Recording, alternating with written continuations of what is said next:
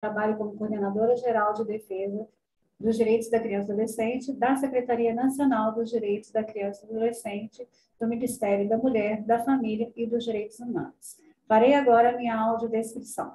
Sou uma mulher miúda, de 1,59m de altura, tenho 48 quilos, tenho a pele branca, cabelo, cabelo louro escuro, partido ao meio, um pouco abaixo do ombro, rosto pequeno, olhos castanhos. Estou vestida com uma blusa de fundo bege, estampada em marrom, e calça branca. Estou na minha sala, da minha casa, atrás de mim tem uma parede branca. Finalizada a apresentação, damos início à live do ciclo de apresentações dos resultados da avaliação do Plano Nacional de Convivência Familiar e Comunitária. Nesta live será apresentado o terceiro estudo, avaliação do Plano Nacional de Convivência Familiar e Comunitária, apontamentos sobre a trajetória da adoção e o Sistema Nacional de Adoção e Acolhimento. Esse estudo é, foi realizado pelo Conselho Nacional de Justiça, a pedido da Secretaria Nacional de Assistência Social, do Ministério da Cidadania, com a colaboração do Fórum Nacional de Justiça Protetiva, o FONAJUP, da Secretaria Nacional da Família, do Ministério da Mulher, da Família e dos Direitos Humanos, da Secretaria Nacional do Ministério de Assistência Social, do Ministério da Cidadania e de alguns juízes da área da infância e juventude. O estudo fundamentou-se na dimensão do Plano Nacional Adoção centrada no superior interesse da criança e do adolescente. Teve como objetivo analisar a, e fazer apontamentos sobre a trajetória da adoção no país, incluindo o percurso histórico de avanços normativos, de estruturação no campo da justiça, no âmbito do CNJ e do Sistema Nacional de Adoção e Acolhimento, o SNA.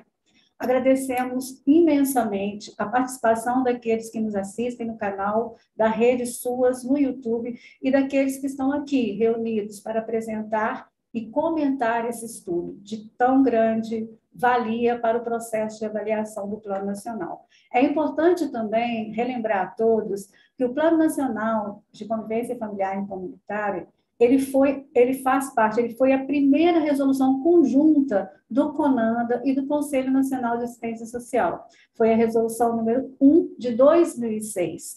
E ele foi elaborado a partir de três grandes dimensões. E são essas dimensões que estão sendo avaliadas nesse processo de avaliação e que estão sendo apresentadas a partir dos ciclos avaliativos de, de apresentação dessas lives. Quais são essas três dimensões? Políticas de apoio à família e prevenção do afastamento do convívio familiar, o reordenamento dos serviços de acolhimento institucional e implementação de novas modalidades, como serviço de acolhimento familiar e de república para jovens egressos de serviços de acolhimento para crianças e adolescentes, a adoção centrada no superior interesse da criança e do adolescente. Então, com base nessas três dimensões, é que foram realizados estudos para avaliar a implementação do Plano Nacional e subsidiar, posteriormente, sua atualização. Esses estudos foram coordenados no âmbito do Executivo Federal pela Secretaria Nacional de Assistência Social, do Ministério da Cidadania, e pela Secretaria Nacional dos Direitos da Criança e do Adolescente, do Ministério da Mulher, da Família e dos Direitos Humanos. A avaliação reúne um conjunto de estudos, cuja realização envolveu diversos parceiros e apoiadores. Esses parceiros, nós podemos é, destacar o Movimento Nacional para a Convivência Familiar e Comunitária, o Instituto de Pesquisa Econômica Aplicada, o IPEA, o Conselho Nacional de Justiça, o Conselho Nacional do Ministério Público, o CONDEG, que é o Conselho Nacional de Defensores e Defensoras Públicos Gerais, a ANGAD, é, como apoiadores as aldeias infantis SOS, a Organização Internacional para, para Migrantes, OIM, e o Instituto Fazendo História e como colaboradora a Secretaria Nacional da Família do Ministério da Mulher, da Família e dos Direitos Humanos.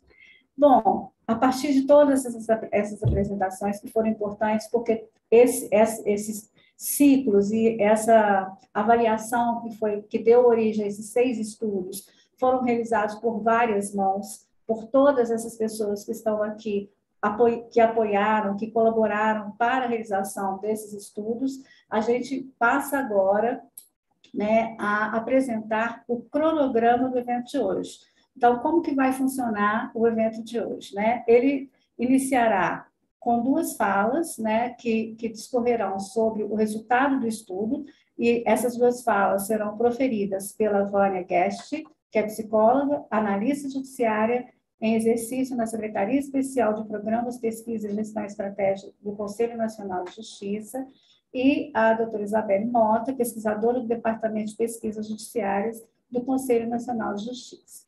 A partir daí, apresentados os resultados, eles serão debatidos pelos seguintes debatedores. Os senhores e senhoras, a Conselheria da Castro, do COGEMAS, representando o Conselho Nacional de Assistência Social, a conselheira Deise César Franco Bernardi, da Associação de Pesquisadores e Formadores da Área da Criança e do Adolescente, UNECA, representando o CONANDA, o senhor Rodrigo Moreira, representando a Secretaria Nacional da Família do Ministério da Mulher, da Família e Direitos Humanos, e finalizando o bloco de debatedores, o conselheiro Dr. Richard Paikin, juiz da Infância e da Juventude, conselheiro do Conselho Nacional de Justiça. Terminados os debates, passaremos para os comentários finais e a interação dos participantes por meio de perguntas e respostas do chat no YouTube. E também a fala de encerramento dos responsáveis pela apresentação dos resultados do estudo. Apresentado o cronograma de hoje, como será o evento de hoje, sem mais demora, iniciaremos a apresentação dos resultados da pesquisa, apontamentos sobre a trajetória da adoção e o Sistema Nacional de Adoção e Acolhimento, passando a palavra para as senhoras Ivânia Guest, a psicóloga, analista judiciária e exercício da Secretaria Especial do Programa Pesquisas e Gestão Estratégica do Conselho Nacional de Justiça, e a doutora Isabela Mota, pesquisadora do Departamento de Pesquisa Judiciária do CNJ. Estão com vocês a palavra. Bom dia a todos. É uma honra estar aqui com vocês e uma grande alegria e esperança todo esse processo de avaliação que permite que a lei seja melhor aplicada também com a união de todos os atores. Então, contextualizando esse estudo, é, foi uma demanda realmente da SNS que, ao analisar o processo de implementação do Plano Nacional, percebeu é, e nós tínhamos realmente até já uma trajetória, muitos que estamos aqui há muito tempo nessa área, que muitas ações foram realizadas, mas não se tem uma história construída, não se sabe exatamente como foi o processo, por exemplo, de criação do SMA, de que ensejou a Lei 2010. Então, assim, aqui foi a primeira tentativa de se reunir essas informações e construir esse histórico, considerando que o próprio processo de elaboração dos normativos, dos sistemas, ele já representa é a implementação do plano nacional, né? A gente conhecer não só o produto, mas a dinâmica de como isso acontece, inclusive porque a adoção tem muitas tensões, é importante para subsidiar o aprimoramento para a nova versão do plano. Então, vou pedir, por favor, para a colega Isabelle começar os slides para ajudar, porque são muitas informações, não é possível a gente colocar aqui hoje todos os é, debates que a gente trouxe no estudo, a gente fez um recorte, e mesmo o estudo ainda é um recorte, eu acho que valeria a pena né, ele ser o ensejo que seja complementado pelos demais atores que fazem parte dessa construção histórica de tudo que tem mudado na adoção. Então, a gente destacou aqui né, a importância do plano é, como esse marco no histórico do processo de adoção no Brasil e o SNA com a maior contribuição do Conselho Nacional de Justiça.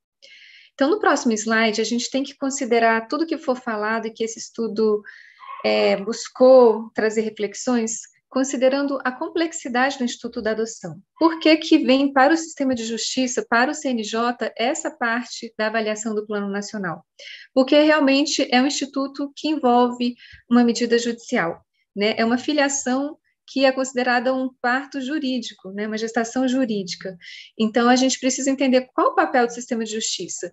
E muito importante, realmente, esse paradigma que o plano é, colocou muito claramente no eixo 3, a adoção centrada no interesse da criança. Se isso precisa virar um eixo de um plano nacional, porque isso não é algo dado, não é algo simples, tem que ser consensuado e sempre conquistado e considerando que existem muitos interesses, então, no Instituto de Adoção, que geram tensões, e o estudo tentou mostrar um pouco é, a construção da busca da implementação do critério da criança como, e o adolescente como realmente os atores centrais para os quais deve ser realizada a adoção.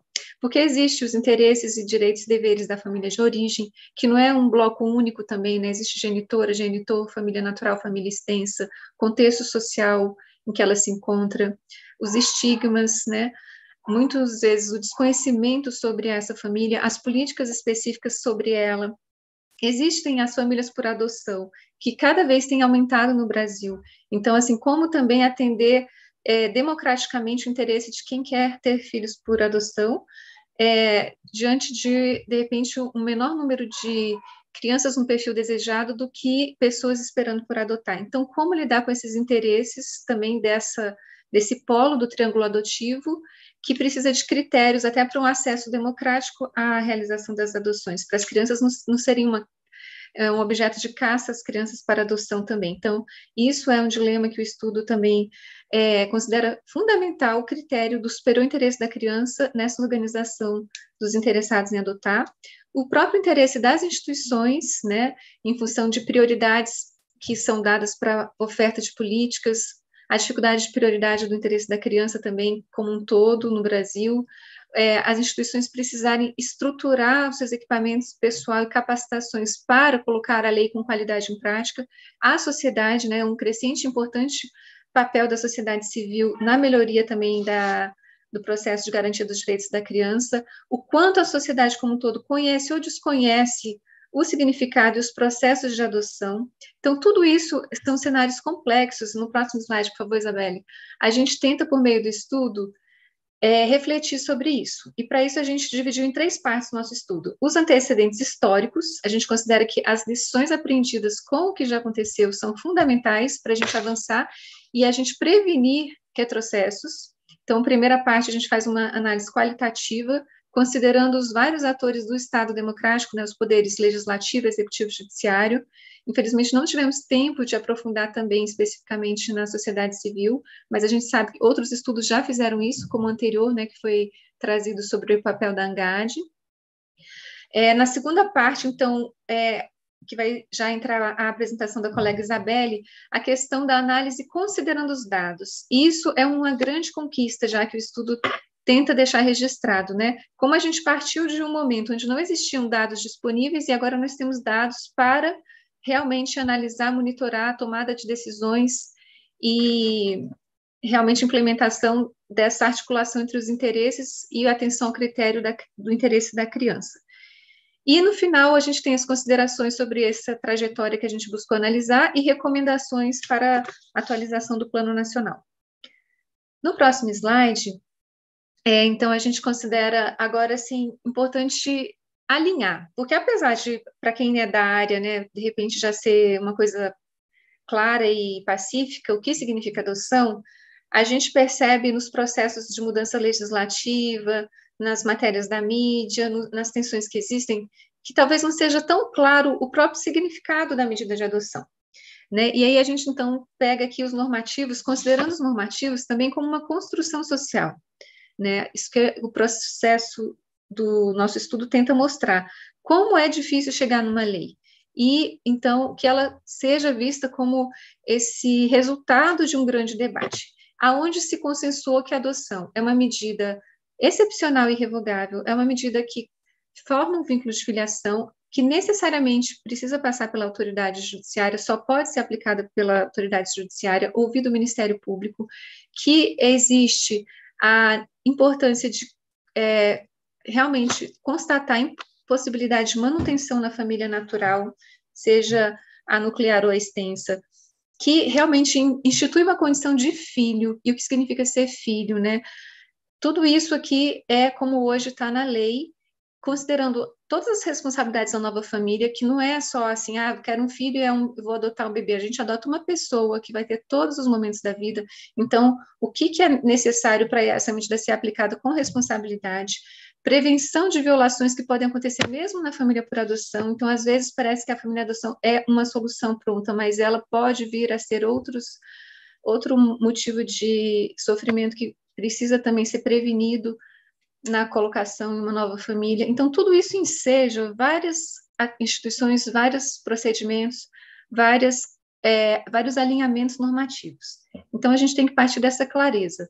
E, para isso, considerar historicamente, que é o que o estudo tenta ver, é a ressignificação do próprio judiciário ao se avançar na adoção considerada do ponto de vista do direito da criança, né?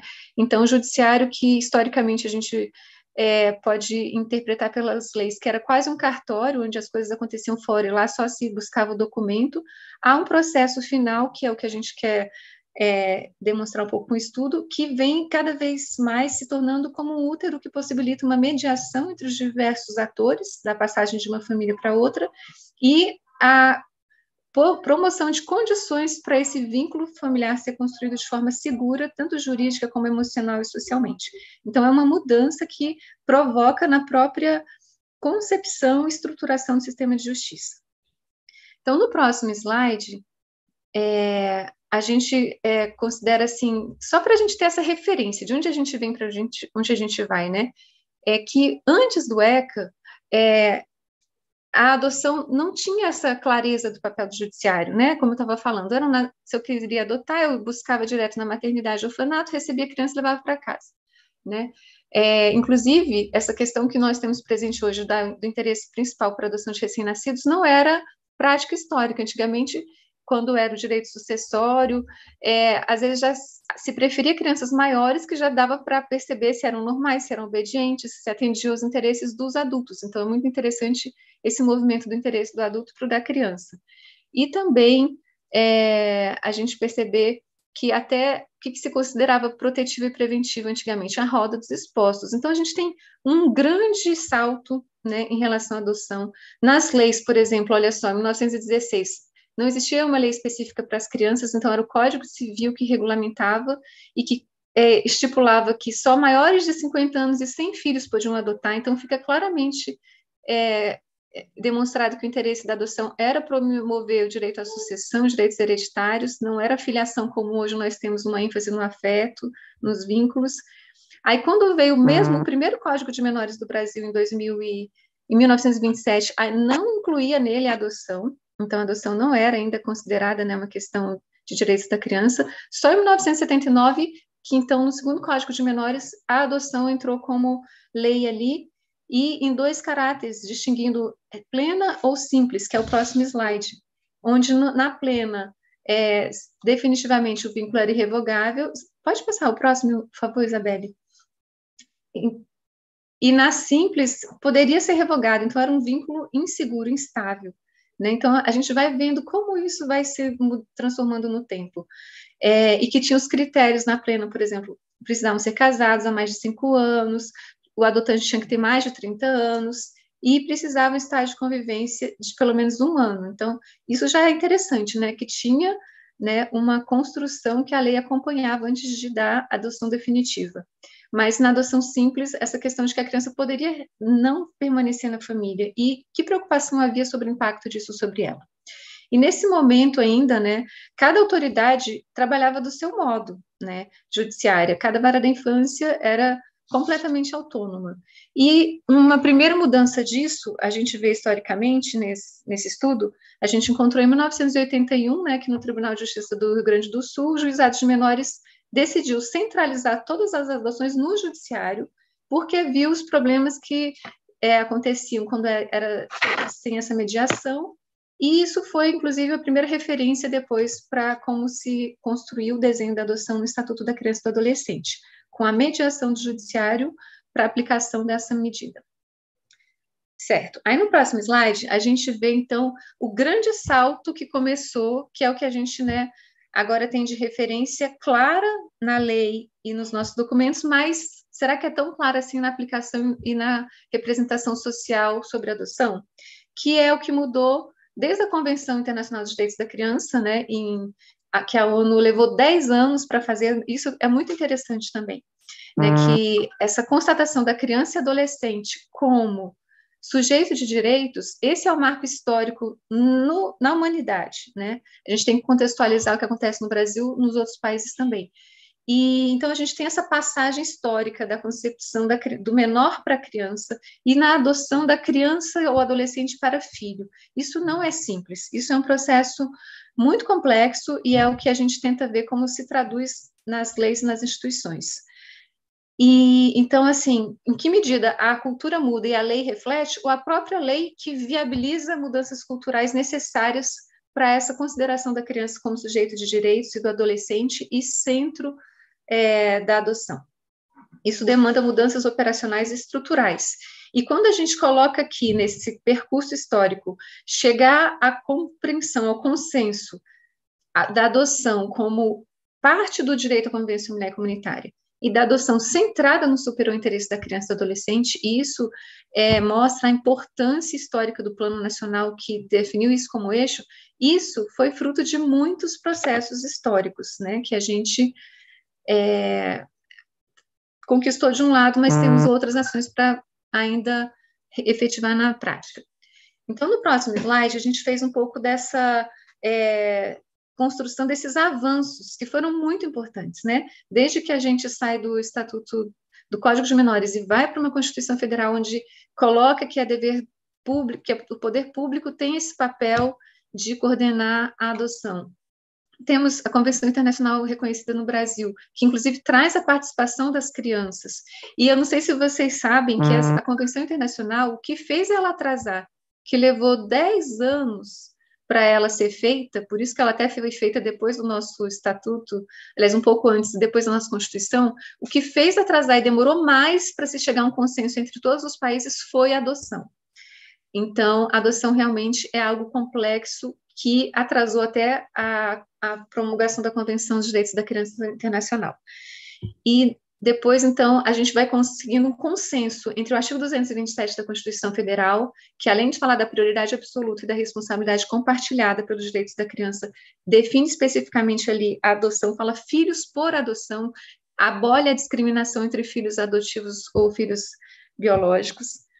O ECA, que regulamenta, então, isso da Constituição Federal e traz ali especificamente o papel do judiciário, é, a excepcionalidade, é realmente esse marco.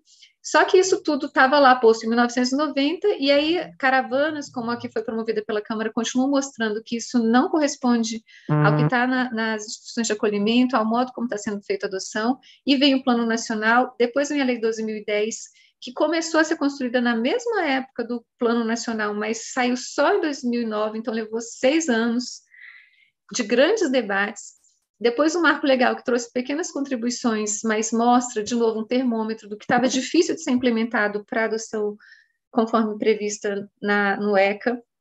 Depois, uma nova mudança com a Lei 13.509, em 2017, e o marco histórico da criação do SNA em 2019. Então, o estudo que vocês depois vão poder ler, a gente está nessa construção, vai tentando mostrar reflexões sobre todo esse processo de construção, onde se enfatiza entre tensões que às vezes puxam para o direito do adotante ou direito da família de origem, voltar para o foco ser o direito da criança. E, por outro lado, essa progressiva construção, cada vez mais, dá clareza, dá atenção a todos os atores envolvidos na adoção.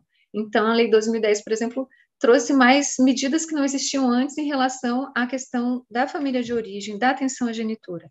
Então, nos próximos slides, por favor, a gente traz exemplos disso, né? Como a Constituição, eu sou muito impressionada, assim, como psicóloga, como que a lei produz subjetividade e o poder das palavras nesse momento de organização dos, das várias pessoas e vivências que a sociedade tem, ainda mais num país continental como o nosso. Então, quando a gente tem as palavras, a adoção será deferida pelo poder público, né? Os filhos por adoção terão os mesmos direitos. Então, filhos por adoção é, uma, é um conceito fundamental, né? A gente sai de menor e a gente, para a criança, sai por filhos por adoção, como uma filiação tão legítima quanto. E o ECA regulamentando, é, no próximo slide, por favor.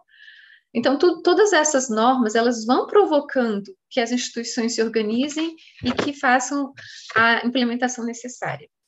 E, tá, a gente teve aquilo, teve o ECA, é, e aí vemos aqui, olha, em 2002, essa caravana que vai nas instituições e que inclusive muda, não, não temos mais orfanatos, evoluímos para instituições de acolhimento, porque se viu que ali onde se achava que todas as crianças acolhidas eram órfãs, não, apenas 10%, as outras tinham pais. E aí isso leva a uma pesquisa fundamental que já vem um poder, né, mobilizando a atribuição do outro. Então vem o IPE e a sociedade civil com Conanda constrói essa pesquisa fundamental que identificou que as crianças não tinham nem processos judiciais. Então como que a lei diz que é papel da justiça e nem se sabe nada sobre essas crianças na justiça, né? Então esse, isso foi fundamental historicamente para a gente é, mobilizando ações que se faziam necessárias. No próximo slide, então, a gente tem a questão que veio, é, é, antes de vir o plano, considerar di, diante desse contexto ali das crianças que se achava que eu ia ainda buscar no orfanato, é, porque não tinha nem conhecimento dela no judiciário, como que se faria com o meio do judiciário. Que a gente tem, então, que saber que não existe uma adoção única no Brasil que no fundo existem vários tipos de práticas, né? As adoções legais, que é o que a gente tem falado até agora, que os normativos evoluíram e que o ECA regulamentou, mas as adoções ainda prontas, que simplesmente eu a criança sem nenhuma mediação, e isso pode incorrer em riscos de, inclusive, comercialização das crianças, né? São questões é, graves em termos de direitos humanos. E a adoção ilegal, que eu acho que a gente tem que levar uma reflexão séria, que são chamadas de adoção brasileira, quando se faz já direto no cartório, desconsiderando a família de origem, e muitas vezes é, construindo toda a vinculação com base num segredo que a criança não tem o direito de saber, esse modo como ela foi. É, se tornou filho. Então a gente pergunta qual é realmente o interesse que predomina na prática da adoção no Brasil? Considerando isso. E isso eram, eram na época de década de 2000, no início, eram percepções empíricas, setorizadas, cada vara na sua prática. Eu, por exemplo, fui psicóloga também na área de adoção, a gente percebia localmente, empiricamente. Não tínhamos como ter dados nacionais. E isso foi uma das grandes contribuições que a colega Isabelle vai trazer. Como o SNA possibilitou, então, ter dados para ver o que está acontecendo em relação ao tipo de adoção que é praticada.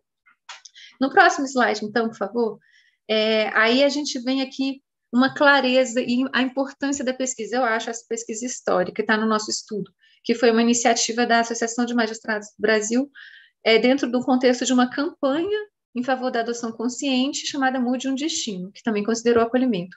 E entrevistando 1.500 pessoas, né, vendo como a, população brasileira percebia adoção em 2008. Então, quer dizer, 18 anos depois do ECA, mesmo depois do Plano Nacional de Convenção Mulher Comunitária, o que, que encontrou quando pesquisou 1.500 brasileiros? Que 37% deles declarou que, se quisesse adotar, iam procurar uma criança no hospital, na maternidade. 28% iriam nas instituições de acolhimento, que ainda chamavam abrigos, e 35% só buscaria uma vara da infância e juventude, que, segundo a lei de, desde 18 anos com ECA, era o único procedimento é, legal de se realizar uma adoção.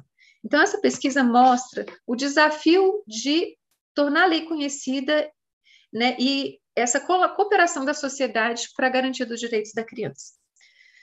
Então, é, no próximo slide, então, a gente discutindo nessa trajetória é, da adoção no Brasil, a gente considera fundamental essa parte em relação à adoção que o Plano Nacional de Convenção Mulher Comunitária trouxe claramente. Essa diretriz no eixo 3 de considerar que não é mais né, é, justo em termos de direitos buscar crianças para atender aos adotantes, para né, ainda mais esse perfil, até essa palavra perfil, quero adotar assim, assim, assim, assado, né? Tem gente que critica muito isso, parece um cardápio que eu escolho como eu quero essa criança, sendo que é um ser humano, que ele é o titular principal do direito né? Não existe nem o direito à adoção, como a gente vai falar, mas o direito à família e, se for o caso, por meio da adoção. Então, não se trata mais de procurar crianças para preencher o perfil desejado pelos pretendentes, mas sim de buscar famílias para crianças e adolescentes que se encontrem privados da convivência familiar.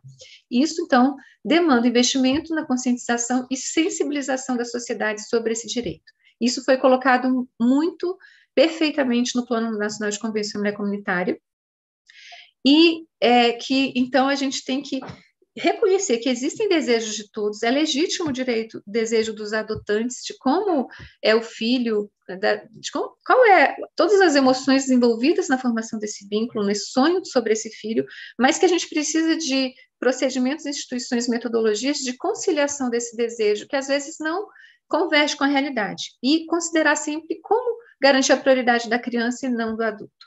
né? É, então, as leis são muito importantes como esse fio da meada, como esse, como esse instrumento de critérios para realmente é, conciliar esses direitos, mas não deixar a criança como objeto de, de resposta ao desejo dos adultos, simplesmente. Então, no próximo slide, a gente traz a questão do. É, pode mudar, por favor, Isabelle?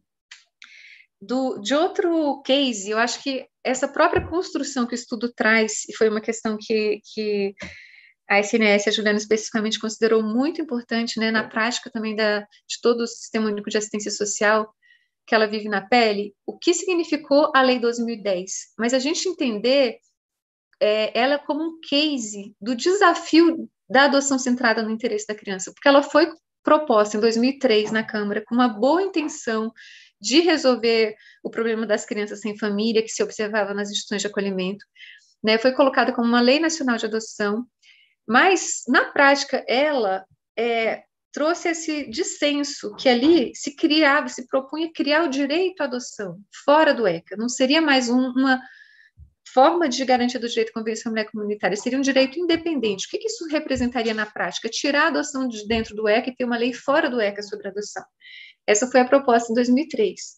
Né? E no meio dessa lei tinha um artigo 23 que ainda permitia que a, a gestante assinasse um documento e pronto, ela estava doando a criança para o adotante, então desconstruía toda essa mediação é, do judiciário. Então, assim, foi um processo enorme. Isso foi uma mobilização de vários atores. Isso foi muito bonito. Que então se partiu disso e outras coisas que eram muito boas na lei, sim, que criou o Dia Nacional de Adoção, que já era desde o início, mas que praticamente foi reconstruído todo o projeto de lei e ensejou uma lei que é considerada um grande avanço para a adoção centrada no, no, interesse da criança e que teve muito é, apoio é, em função do que foi já consensuado no Plano Nacional. Então, quando o Plano Nacional colocou o eixo 3 como centrado na criança, já deu outra chance dessa lei ser melhor construída com esse caráter e respeitando a adoção dentro do direito à convenção mulher comunitária, respeitando os procedimentos para é, critérios de, de, ruptura do vínculo com a família de origem, respeitando é, a necessidade da justiça cuidar não só da questão formal, mas da preparação psicossocial dos interessados em adotar. Então, ela mudou praticamente, não deveria nem ser chamada de Lei Nacional de Adoção, porque ela é, na verdade, mais uma lei do direito à convivência familiar comunitária. Resgatou isso. Foi um grande debate, foi uma grande batalha. Foram seis anos, mas a gente pode considerar que foi muito positivo o resultado. Então, no próximo slide, é, a gente traz, então, assim, um pouco das conquistas que aconteceram com a Lei 2010. Isabelle, se puder mudar o slide que foi justamente assim, a Lei 2010, por exemplo, ela foi é, a maior mudança que aconteceu no ECA desde 1990. 54 artigos foram alterados em matéria de convivência familiar comunitária. Então, fica claro, com esse case da lei, que não dá para tratar a adoção fora de todo o contexto que envolve também a família de origem sempre, as estruturas públicas e etc. Uhum. Então, é, a gente começou com uma coisa que criaria uma coisa fora do ECA e mudou totalmente o ECA. Então, a gente não tem que criar novas leis simplesmente, a gente tem que aprimorar o que tinha. E a Lei 2010 mostra isso. Por exemplo, ela deixou clara a necessidade do Poder Judiciário criar e manter os cadastros estaduais e nacional. Então, isso foi um importante respaldo para o que a gente teve de avanço com a SNA, que vai ser trazido agora. Definir os critérios para adoção intuito persone, porque se diz muito que é difícil adotar e que a demora em adoção está relacionada à burocracia do sistema, mas não é. É como furar fila. Se eu quero adotar e eu, a criança que ia ser entregue por meio da vara, eu busco direto é, comprando uma criança, a pessoa que está respeitando a habilitação do cadastro, ela vai ser passada para trás. Isso gera uma demora para o acesso democrático das pessoas. Então, ali, é, em vez de legitimar a adoção intuito persona, ela definiu que ela só faz sentido em função do interesse da criança se houver vínculo pré-existente da criança com o adotante, ou porque é, é membro da família, ou porque se estabeleceu um vínculo não intencional para burlar a fila e que aí a criança já tem essa relação de filho. Então, a gente tem que ter critérios, e ali ficou claro na Lei 2010 e isso considerando o interesse da criança e não do adotante adotar de forma mais rápida. Olha que importante, a lei incluiu no ECA uma seção nova de habilitação de pretendentes à adoção. Então, isso é muito é, necessário para a responsabilidade do vínculo. Não só ir lá e preencher um cadastro, mas se permitir uma gestação psicossocial e jurídica para conseguir é, toda essa competência da formação do vínculo é, filial por meio da adoção. Nos, nos, a gente sai desse mito de que todo mundo nasce sabendo ser família e muito mais ainda com as especificidades da adoção. Na época, por exemplo, que foi criado para Natal da Adoção, na Vara da Infância que, que eu tive essa oportunidade de participar, as pessoas tinham muita dificuldade de falar sobre a, a adoção para a criança. Então, tipo assim, como que, eu, com medo de fazer a criança sofrer. E, nas verdade, às vezes era o medo da própria pessoa, ao admitir que a criança era adotada, tinha que assumir, por exemplo, o sofrimento da infertilidade.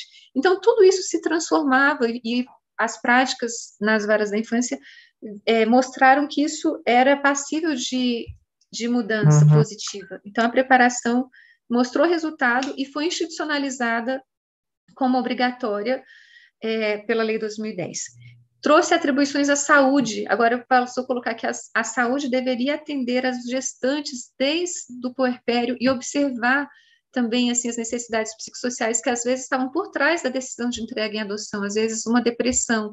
Então a saúde também tinha relação com a adoção. Isso entrou a partir da lei 2010. Criou o direito à origem. Isso é muito importante e isso também destaca uma outra importância do sistema de uhum. justiça, como a memória do adotante do adotado, aonde vai ficar registrada essa história para ele ter acesso. Então, isso também qualifica a clareza do papel do judiciário no, na formação da família por adoção. No próximo slide, por favor, é, a gente tem a questão do poder legislativo, então, né, que, é, olha só, como que a gente nas leis também, nesse diálogo entre os três poderes, vai fazendo mudanças, vendo o que, que não deu certo na realidade. Então, em 2009, o ECA foi alterado com essa frase, né, pela Lei 2010. Esse artigo, as gestantes ou mães que manifestem interesse em entregar seus filhos para adoção serão obrigatoriamente encaminhadas à Justiça da Infância e Juventude. E essa obrigação como proteção e como ali ela também tendo apoio para tomar uma decisão consciente. Né? Isso foi em 2009. E quando a gente fez, construiu o marco legal da primeira infância, houve toda uma demanda do, do foi muita participação do NECA também, né, Daisy? E incluiu no marco legal uma mudança nesse artigo, encaminhada sem constrangimento. Então, quando a gente tem que mudar uma lei para uhum. incluir isso sem constrangimento, isso mostra que é, ainda existia muito preconceito contra a, as genitoras, né, que são fundamentais para a adoção acontecer, mas que são ainda eram ainda demonizadas. O meu tempo está bem curto, vou tentar ser mais rápido. Então, esse é um exemplo de todo o processo que vai sempre permeando tensões e mostra como a gente tem que relacionar a mudança cultural para esses direitos acontecerem. Pode passar slide, por favor? Já deu meia hora. É, então, assim, agora no Poder Judiciário, eu só queria deixar claro que o CNJ não existia ainda quando foi construído o Plano Nacional de Convivência Familiar Comunitária. Então, se a gente vai lá, não está previsto metas e atribuições e objetivos vinculados a ele. Mas ele, hoje, a gente, pelo meio do estudo, que não dá tempo de apresentar todos os detalhes, ele cumpriu várias, vários objetivos e ações que estavam estipuladas no plano. Ele foi criado posteriormente, e é isso que a Isabelle vai colocar um pouco, né? É que, por exemplo, houve a, a transferência do cadastro nacional que estava no governo federal, na época, no Infadot, para o sistema de justiça, e o CNJ, então, foi que conseguiu implementar. Isso foi um processo que durou mais de 10 anos para conseguir se chegar a um cadastro nacional é, de adoção, que depois também veio é, pelo de crianças e adolescentes e que agora foi unificado pelo Sistema Nacional de Adoção e Acolhimento que a Isabelle vai fazer, vai falar. Só para fechar então a minha parte, no próximo slide deixa claro é, o que, que, que, era o objetivo do Conselho Nacional de Justiça, né? Criado não é um órgão jurisdicional, mas ele acima dos, dos tribunais de justiça, ele era para favorecer a transparência e o controle, a garantia da implementação das leis, o apoio à política judiciária, gestão, prestação de serviço, moralidade e eficiência. E ele cada vez mais foi se transformando num órgão estratégico.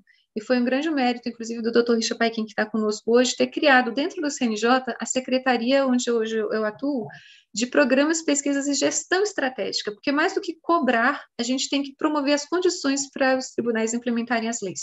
Então, no próximo slide, a gente mostra um pouco do que foi feito, então, a partir da existência do CNJ em relação de adoção.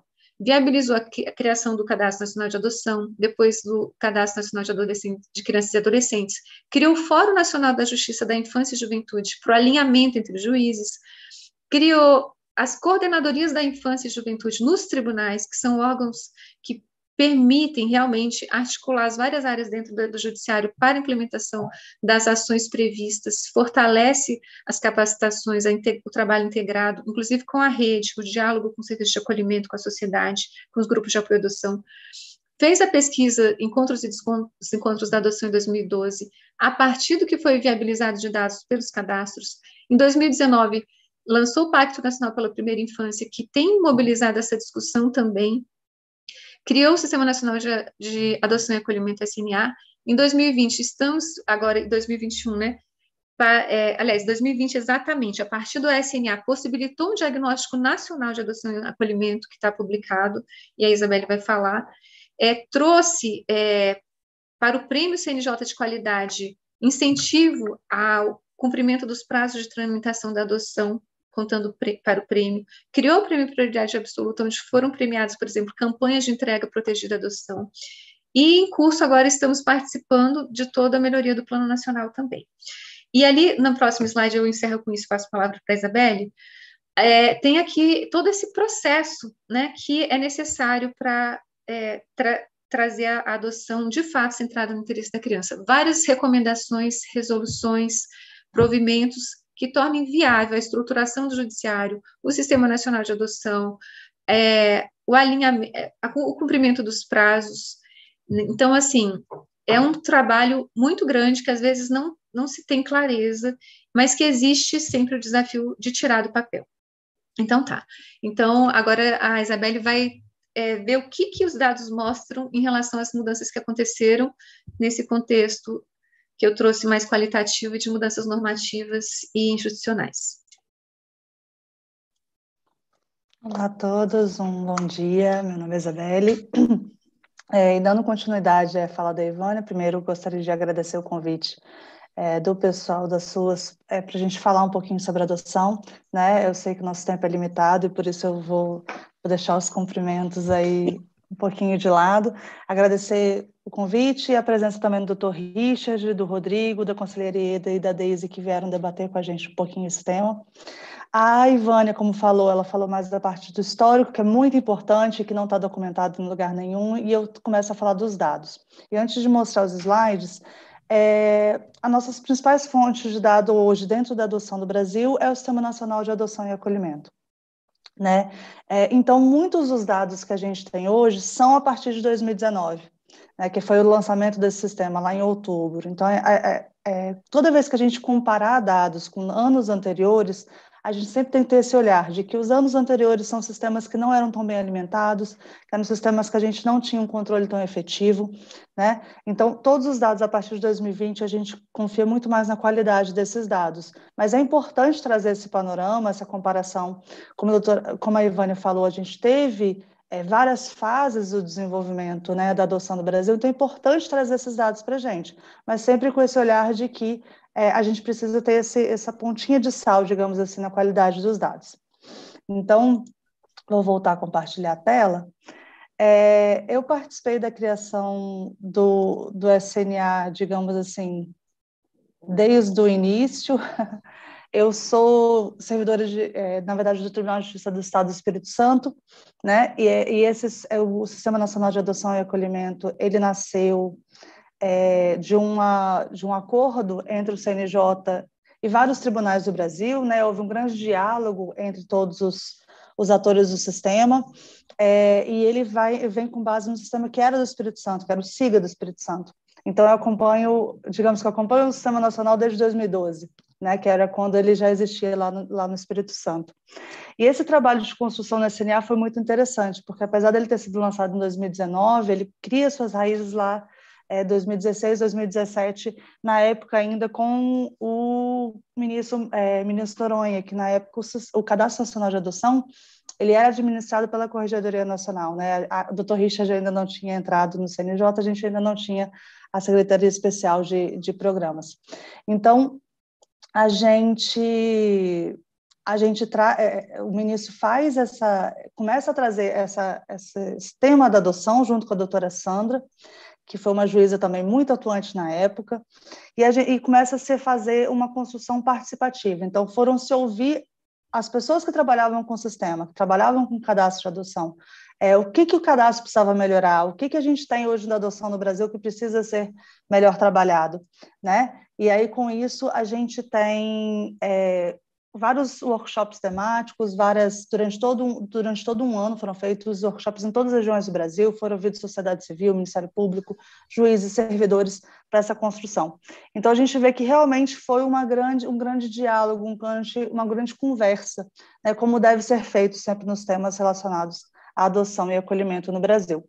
E aí quando surge o SNA, e aí quando o Dr. Richard assume é, e cria, né, no CNJ como juiz auxiliar da presidência, e cria a Secretaria Especial de Programas, Pesquisa e Gestão Estratégica, é, ele traz essa, também consigo essa, essa grande preocupação com a área de infância, que foi super importante. Então, a corregedoria, agora já com o ministro Humberto, né, e a presidência do CNJ, com o Dr. Richard e, o ministro Toffoli, eles ampliam ainda mais a causa da, da adoção e do acolhimento do Brasil, trazem um sistema nacional, sai apenas da corregedoria e vai efetivamente à presidência do CNJ. Então, a gente vê a importância que, que o CNJ tem dado aí para esse tema. Então, foi muito importante essa mudança, porque a gente realmente conseguiu colocar a adoção como um dos pilares, né, é dentro do CNJ, é, e aí, em outubro, a gente consegue realmente lançar o sistema é, nacionalmente. Todos os estados do Brasil já utilizam o Sistema Nacional de Adoção. A gente sabe que é, chegar em todos os recantos do Brasil é sempre muito difícil. Então, é, muito difícil chegar a 100% de cobertura, mas é sempre o nosso objetivo, que todas as crianças que estão acolhidas ou em adoção, em processo de adoção no Brasil, estejam dentro do nosso sistema. Né? É, apesar da gente estar falando do SNA do ponto de vista da adoção, é importante lembrar que ele é um sistema de adoção e acolhimento. Né? Como a Ivânia falou, a gente, as nossas crianças, elas as crianças que estão para adoção são as crianças que estão acolhidas, né? São as crianças que não conseguem a reintegração familiar, que a gente não consegue fazer o trabalho com a sua família de origem e que por isso vão para a adoção em regra. Então, a gente não pode desacoplar essas duas informações, a gente não consegue ver a adoção como uma, algo estanque, algo desacoplado de toda a questão do acolhimento do Brasil. Então, por isso, a gente faz um sistema de alertas único, a criança é acompanhada do início ao fim é, do seu processo, do seu processo é, judicial. Né? A Ivânia também trouxe a questão de que as crianças não tinham processos, né? E esse é um trabalho que a gente fez para que todas as crianças que estão no acolhimento no Brasil tenham processos judiciais de medida protetiva ou outros procedimentos necessários para o seu acompanhamento. Então, esse acompanhamento, ele vai ser da primeira medida protetiva, que seja de acompanhamento da família, de é, acompanhamento da escola, até a sua saída do sistema, seja pela sua reintegração, que é o que acontece na maioria das vezes, a gente tem muito mais reintegrações no SNA do que adoções, ou seja, pela, pela adoção. Né? É, esse sistema ele traz vários controles de prazos, então a gente sabe que a lei determina, por exemplo, que a cada três meses há uma reavaliação do acolhimento da criança, que o juiz reveja essa situação isso é cobrado no sistema e é cobrado através de outros mecanismos do CNJ. Então, a gente fez questão de trazer um sistema realmente focado no melhor interesse da criança, focado no que é possível a gente fazer para dar celeridade a esse processo, né? E também aproximar os pretendentes da adoção. Muitas vezes a gente fala que o processo é burocrático, que o processo é lento, é, mas as pessoas não entendem a necessidade desse processo. Né? A criança, como a Ivânia falou muito bem, é um sujeito de direitos para ela sair da sua família de origem e ir para uma família adotiva, a gente precisa respeitar um procedimento, precisa respeitar o tempo, precisa respeitar os, os, o, todos os, o, tudo previsto na no nossa legislação. Então, se o processo é considerado burocrático, é, tem uma razão de ser, é porque a gente precisa garantir que aquela criança ela está preparada e que aquele pretendente também está preparado para receber aquela criança. Né? É, infelizmente, mesmo com cursos de apoio à adoção, com cursos é, para habilitados à adoção, mesmo com os grupos de apoio à adoção, mesmo pessoas estando na fila às vezes há anos esperando a criança, a gente tem taxas de devolução que ainda são altas. Então, isso mostra para a gente que mesmo com a burocracia, mesmo com a preparação, a gente ainda tem dificuldade em conseguir, formar, às vezes, a formação de vínculo. Então, ela existe sempre por um motivo né? É, mas lógico, lógico que a gente sempre busca celeridade. Então, com como ser mais rápido o processo dentro da legalidade, respeitando os princípios, respeitando os direitos das nossas crianças e dos adolescentes. É esse o grande objetivo desse novo sistema. Né? É, quem não conhece esse novo sistema, ele tem uma página de estatísticas públicas, está disponível para qualquer pessoa interessada, é cnj.jus.br barra sistemas, barra SNA, barra estatísticas. Podem entrar lá, vai ter dados de acolhimento, de adoção, é, de pretendentes, de serviço de acolhimento, enfim, todos os dados que a gente tenha é, públicos sobre adoção e acolhimento é, do SNA. São muitos e muitos dados, e são sempre atualizados diariamente, então são dados em tempo real, quase. Né? É, e aí a gente trouxe, né, como eu falei, uma análise dos dados, lembrando que eu falei que os dados anteriores a 2020, a gente sempre toma, tem que tomar aquele cuidado, né, de que são dados que a gente tem que, é, tem que interpretar sabendo que ah, podem, podem haver é, dados que são que estão incompletos, né? É, então a gente até 2020 a gente tinha dados apenas as adoções pelo cadastro que a gente chama que é adoção legal, né? É, adoção legal não, adoção pelo cadastro mesmo, porque a lei também determina é, existe a possibilidade de adoção intuito persona no artigo 50 parágrafo 13, né? redação de relações de parentesco unilaterais, quando é um padrasto, uma madrasta, e também relações, é, adoções de guardiões. E isso era uma grande caixa preta para a gente, né? essas adoções que aconteciam fora do cadastro. É, e a gente começa a ter esses dados agora a partir do novo Sistema Nacional, que vão estar disponíveis aí nessa nossa nova análise do plano, é para a gente começar a ter, é, é, a gente trouxe esses dados justamente para a gente começar a ter a possibilidade de fazer política pública, né? A gente não faz política pública sem estatísticas. A gente tem dados de reintegrações, como eu falei, a gente tem muito mais reintegrações no sistema do que adoções, né? É, questão de devoluções, entre outros dados. O número de adoções no Brasil vinha crescendo, a gente é, de novo, né, antes de 2020 tem que tomar cuidado. Então, a gente tinha o número de adoções que veio crescendo de 2015 até 2019. Em 2020, a gente teve uma ligeira queda do número de adoções registradas no SNA. É, pode ser em relação da pandemia, mas o número é muito pequeno. Você vê que ele ainda é superior ao número de 2018, então talvez realmente 2019 que tenha sido um ano muito atípico, né? É, o número de adoções ela reflete também o perfil que as pessoas desejam adotar né? Os pretendentes, eles têm sim, durante desde o, desde o lançamento do Cadastro Nacional de Adoção, ampliado o perfil desejado. A gente tem pessoas que aceitam adotar crianças mais velhas, mas ainda assim é limitado. Você vê que ali até os oito anos você consegue ter um número ainda considerável de pessoas que desejam adotar é, crianças, mas é, sempre focado de um aos três anos, ali na primeira infância, realmente é o grande foco da adoção no Brasil hoje houve essa mudança de paradigma, como a Ivânia falou.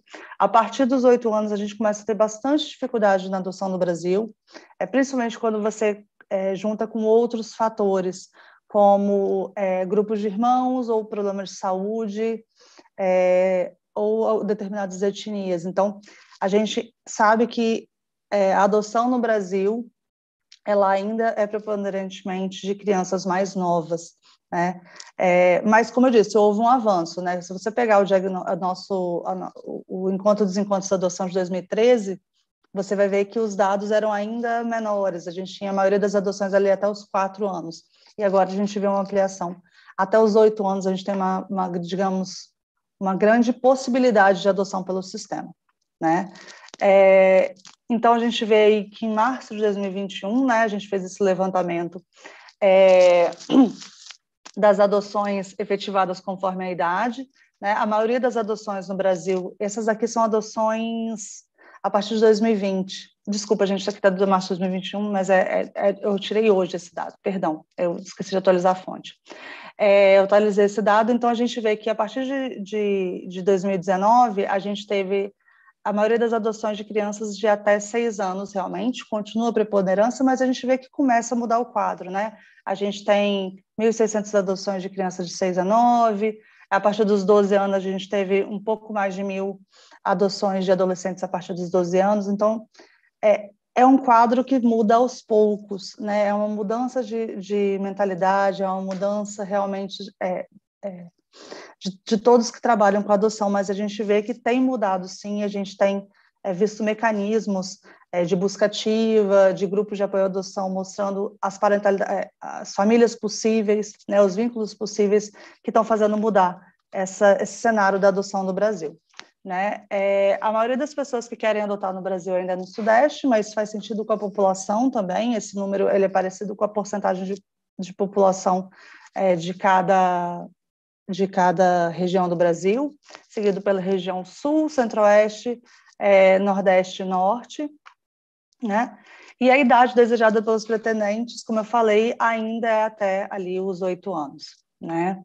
É, uma coisa interessante da gente observar que a gente fez para esse, esse diagnóstico é que, além da idade que deseja adotar, isso acaba influenciando em outros aspectos também, quando pretendente. Por exemplo, um pretendente que aceita adotar uma criança de apenas até dois anos, ele, em regra, só quer uma criança saudável, de etnia branca ou parda. Então, ele não quer só uma criança pequena, ele quer uma criança pequena com vários outros outras questões, né, vários outros critérios, digamos assim. Já uma pessoa que aceita adotar, um pretendente que aceita adotar uma criança acima de oito anos, ela, em regra, ela é mais aberta também em outros critérios. Então, você vê que é, mais de quase 39%, 38,6% dos pretendentes que aceitam adotar acima de oito anos aceitam duas crianças, é, ou até mais do que duas crianças, né? Aceitam qualquer etnia, quase 50%, aceitam problemas de saúde. Então, você vê que muitas vezes é, esse, esse, essas pessoas que aceitam adotar a, menor, a idade mais restrita têm também uma ideia mais restrita da adoção. É aquela ideia da criança perfeita, do filho perfeito. É, então, essa a, a, gente ainda precisa, né? Como eu falei, a gente tem melhorado muito, mas a gente ainda precisa trabalhar para quebrar esses mitos da adoção no Brasil, de que apenas um bebê que se pareça comigo, que seja saudável, é que vai atingir é, aquele vai ser o meu filho perfeito. Né? A gente sabe que a filiação é possível em todas as formas. Então, é, é, esse gráfico aqui é em porcentagem, né? A gente vê que, como eu falei, até os oito anos aí a gente tem grande porcentagem dos pretendentes que aceitam adotar é, no Brasil. Né? A, a percentual de deficiências, deficiências ainda é uma questão complicada, na adoção no Brasil. Infelizmente, a maioria dos pretendentes não aceitam crianças com deficiências. E sobre esse ponto, a gente tem uma questão importante também que a gente precisa é, pensar como melhorar, que é as crianças, principalmente das deficiências intelectuais, muitas vezes o sistema de saúde não quer fechar diagnósticos, principalmente de gravidade, de deficiências, de, de perspectivas, e faz sentido até porque muitas vezes tem muito a ver com os estímulos que são dados à criança, mas isso dificulta muito também na hora da adoção, porque quando você não consegue dar uma perspectiva fechada para o pretendente, é muito mais difícil ele aceitar aquela criança, né? Então, quando você tem é, campos muito abertos para adoção, por exemplo, aceita crianças com, com deficiência sim ou não, é, o pretendente fica muito fica assustado, tipo, o que, o que viria, né? Que deficiência seria essa? É uma deficiência física, pode ser é uma deficiência visual, mas pode ser uma criança é tetraplégica, paraplégica, que são completamente diferentes. Então, é, é algo a se pensar para o futuro, né? Como a gente consegue é, fazer com que a gente consiga a adoção dessas crianças que têm ainda deficiências e que a gente ainda tem dificuldade de adoção no sistema. Né? É, e o grupo de irmãos também é outro problema é, grande, é outra questão que a gente precisa pensar para o futuro da adoção do Brasil. Né? É, quando a gente tem apenas um irmão, e aí a idade, lógico, que influencia, mas a possibilidade de adoção dela é de mais de 60% quando ela está disponível para adoção sozinha. Se ela está disponível para adoção com mais um irmão, diminui para 30%. Com três ou quatro irmãos, vai diminuindo para até menos de 1% a chance de ser adotada em conjunto com seus irmãos. E a gente sabe que, que a manutenção dos vínculos familiares muitas vezes é é importante, né? E aí como fazer com que esses vínculos sejam mantidos, mas que essa criança não fique acolhida é, mais tempo do que o necessário. A gente tem algumas algumas varas têm trabalhado, por exemplo, em adoções conjuntas, famílias que moram na mesma cidade, famílias que se comprometem a manter o vínculo de entre os irmãos. É, isso acontece, aconteceu muitas vezes, por exemplo, em adoções internacionais. Às vezes, as adoções internacionais, os pretendentes aceitam a adoção de mais crianças, é, mas a gente ainda tem é, muitas pessoas que não aceitam a adoção internacional do Brasil. Então, são os desafios para o futuro, né? A gente traz os dados do passado, a gente tem que pensar no futuro também. As crianças com deficiência, grupos de irmãos, como a gente vai trabalhar para essas, essas crianças mais velhas, para esses grupos conseguirem serem adotados no Brasil, né? É, e a idade, né? Eu falei da deficiência, falei do grupo de irmãos e, de novo, a idade. A idade, ela, tá, ela influencia, é, é uma dos maiores critérios de influência, né? É, a gente sabe que é, a gente vê que não só na adoção, como no acolhimento também. Quanto mais velha a criança, em regra, mais tempo ela vai ficar acolhida. Então, uma criança de 12 anos que entrou no acolhimento, é grande a chance dela, eu não vou dizer porcentagem porque né, não, não, tô, não tô com ela aqui, mas é grande a chance dela de ficar no acolhimento até os 18 anos. Então, você vê que os acolhidos há mais de três anos no Brasil, eles são a maioria ali acima dos 12 anos. É, você vê que é bem, é, é, é, a quarta pirâmide aqui embaixo, né, acolhidas há mais de três anos, é bem característica. As crianças mais velhas, em regra, ficam acolhidas menos tempo, né, as crianças mais, mais novas, desculpa, as mais velhas ficam acolhidas mais tempo, e as mais novas ficam acolhidas por menos tempo. Então, a gente, infelizmente, tem que pensar nisso, assim, como a gente conseguir, então, se não for possível a adoção, vamos trabalhar é, em como o que, que, vai acontecer com esse jovem quando ele atingir os 18 anos e ter que sair da instituição de acolhimento. Né? A gente tem trabalhado para sua emancipação, a gente tem trabalhado para ele conseguir um emprego, para ele ter uma profissão. É, temos casas é, república disponíveis, isso é, uma, é algo também problemático no Brasil, a gente quase não tem casa república disponível no Brasil. Né? Então, a gente realmente precisa trabalhar. É, e às vezes as pessoas falam, ah, Isabelle, mas é porque as crianças estão ficando muito tempo acolhidas, e é por isso que elas ficam até os 18. E eu fiz um levantamento, não está nem no gráfico, fiz agora de manhã para gente. É, eu, eu fiz um levantamento de todos os acolhimentos que aconteceram de 2020 até hoje. Né? Foram mais de 65 mil crianças que passaram por acolhimento. A gente fala que a gente tem 29 mil acolhidos, mas não são os mesmos 29 mil, né? Todo dia entra e sai criança. Então, passaram 65 mil crianças pelo acolhimento de 2020 até é, 2 de fevereiro de 2022, né? Um pouquinho mais de dois anos. Dessas 65 mil crianças, a idade média delas era de 8 anos e meio, na data do início do acolhimento, não era a data de hoje. Então, pensa, a média de acolhimento, as crianças já são mais velhas do que a idade que os pretendentes desejam adotar. Então, o que, que a gente vai fazer com essas crianças se a gente não consegue uma reintegração? Elas vão ficar na instituição até os 18 anos? A gente consegue ampliar o perfil da adoção no Brasil? É, e, de, e, aí eu também fiz o mesmo cálculo das crianças no momento das crianças que conseguiram adoção, que entraram entraram em processo de adoção, né? Também nesse mesmo período de 2020. Esse, desculpa, não lembro de qual. Esse dado foi foram 8.250 crianças, né, que entraram em processo de adoção a partir de 2020. Então, algumas já concluíram, como eu falei, foram mais ou menos 3 é, mil em 2019, 3 mil em 2020, mais ou menos isso em 2021 também, e algumas ainda estão em processo. E eu peguei a data, a data de nascimento que ela tinha no início do processo de adoção em média. Ou seja, quando ela entrou para a família, quando a família aceitou pegar ela, quanto idade, qual a idade média dela? Quatro anos e meio. Então você vê que a conta não fecha, porque as minhas crianças acolhidas têm em média oito anos e meio, mas as crianças que os pretendentes aceitam adotar pelo sistema têm em média quatro anos e meio.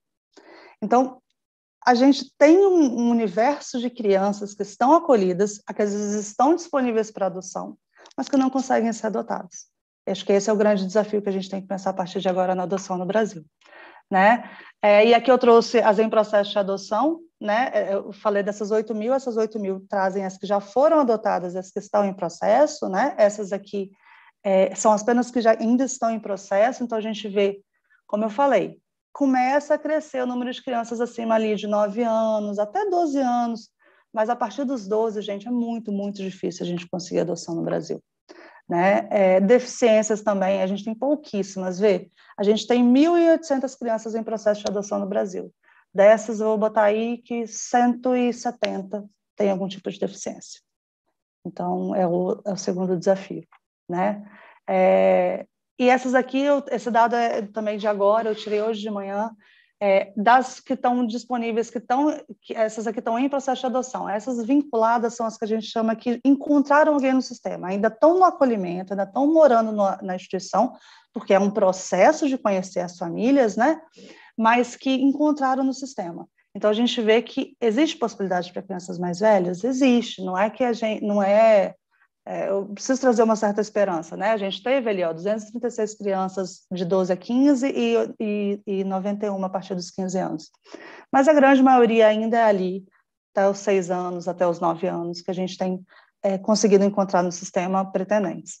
E das que não encontram pretendentes no sistema, é, essas daqui são duas mil crianças que, apesar do sistema à noite fazer automaticamente, né? Eu nem falei disso, mas o sistema todas as noites ele o que, que ele faz, né? Eu tenho as minhas crianças que estão acolhidas. Das crianças que estão acolhidas, eu tenho uma parcela delas que pode para adoção, não são todas, né? Como eu falei, tem a reintegração, tem todo o trabalho.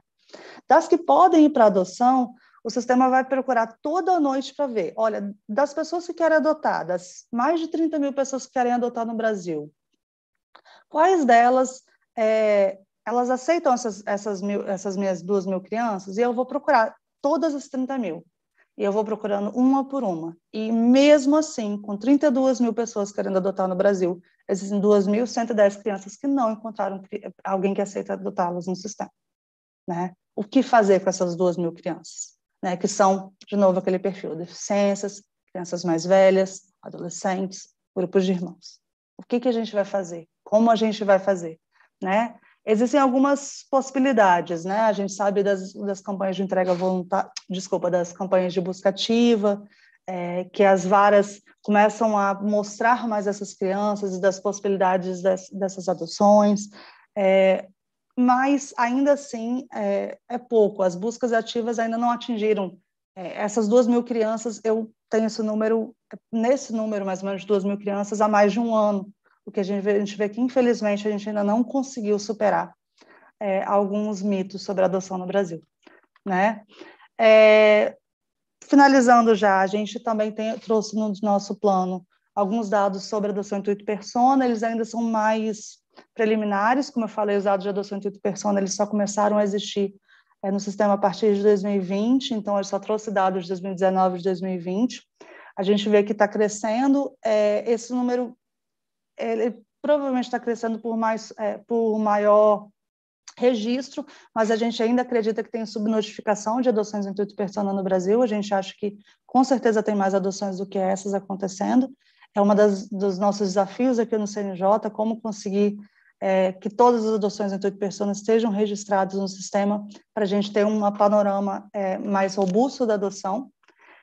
É, e também sobre a entrega voluntária. Também é um dado novo que a gente tem na, no, no SNA e que a gente gostaria de trabalhar com ele no futuro, né? Como fazer com que as campanhas de adoção é, de entrega voluntária, essas mulheres realmente sejam acompanhadas, ouvidas e que essas crianças sejam entregues através do Sistema Nacional de Adoção, né? Não haja adoções irregulares mais no Brasil de bebês. É, e, e, isso com certeza passa pelo, pelos, pelas entregas voluntárias, que são acho que os novos desafios aí da adoção no Brasil. Né? É, vou voltar a palavra para a Ivânia para ela falar sobre as considerações finais. Ivânia. É, então, a gente pode ver então como o SNA realmente ele responde a muitas ações demandadas pelo Plano Nacional de Competência Mulher Comunitária. E esse processo de atualização realmente é uma grande oportunidade de aprimoramento. Né? A gente avançou muito, mas sabe que muitas coisas precisam ser feitas ainda. Mas ele é fundamental para poder ter essa visibilidade, essa transparência, essa é, referência para subsidiar as ações políticas, como a Isabelle falou. Sem dados, como que a gente faz gestão de políticas públicas? Né? Então, foi um salto muito importante e que precisa ser reforçado, mantido e ampliado. Né? A gente, por exemplo, precisava de clones da Isabelle, né? Porque é muito trabalho e a gente não sabe como ela dá conta até, porque as equipes são muito pequenas também. Mas eu acho que o estudo comprova isso, né, que ele é, é um dos principais é, avanços desde a construção do plano pela atuação do CNJ. Então, assim, no próximo a gente também começou a realizar um compilado das recomendações, né? É, ah, tem outras ações, a gente precisaria de muito tempo, por exemplo, outras contribuições importantes do CNJ, e que são, é difícil ter uma questão linear, né, são é, derivações indiretas, por exemplo, ao se criar as coordenadorias da infância e juventude, se melhorou as equipes psicossociais e elas criaram programas, então nós temos várias iniciativas locais de programas de entrega protegida para adoção, que atende melhor a genitora, como foi previsto na lei, estava né, já disposto no plano, foi é, referendado na lei, referendado não, determinado na lei de 2010, aprimorado pela lei de 2017, e que não teria sido colocado em prática se as equipes das varas da infância não criassem programas e protocolos específicos, e muito também integrados com os serviços de acolhimento, SUAS e é o resto, restante da rede. É, por exemplo, atualização dos cadastros, isso é um desafio, e para a gente ver como é, o CNJ também, com os dados, sempre está subsidiando novas mudanças legislativas que às vezes são propostas e que não estão coerentes com o princípio do superior interesse da criança. Então, a gente também é, busca por exemplo, essa questão do cadastro, por que eu falei isso? Porque tem um projeto de lei agora que nem menciona o Sistema Nacional de Adoção e Acolhimento, que fala como se ainda estivéssemos na época dos cadastros anteriores ao sistema. Então, essa manutenção que estava prevista no plano, ela é feita por essas criações do CNJ, dos cadastros do SNA, e isso ainda precisa até ser mais divulgado para os outros, outros poderes, inclusive, que estão tomando ações nesse sentido, sem estarem totalmente atualizados. Então, a gente tem um diálogo constante. No próximo, por exemplo, é, os programas de preparação para adoção também foram outras, outros avanços e que têm sido demandados para o CNJ, né, da gente parametrizar as preparações para adoção. A pandemia fez se demandar muito a criação, inclusive, de processos online de preparação para adoção.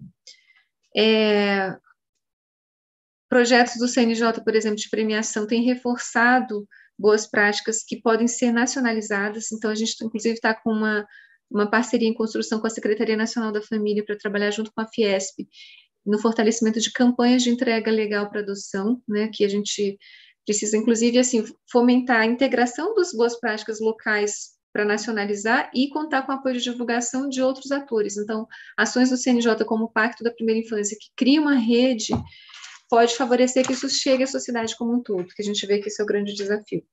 Conscientização da sociedade, também o CNJ tem um papel importante.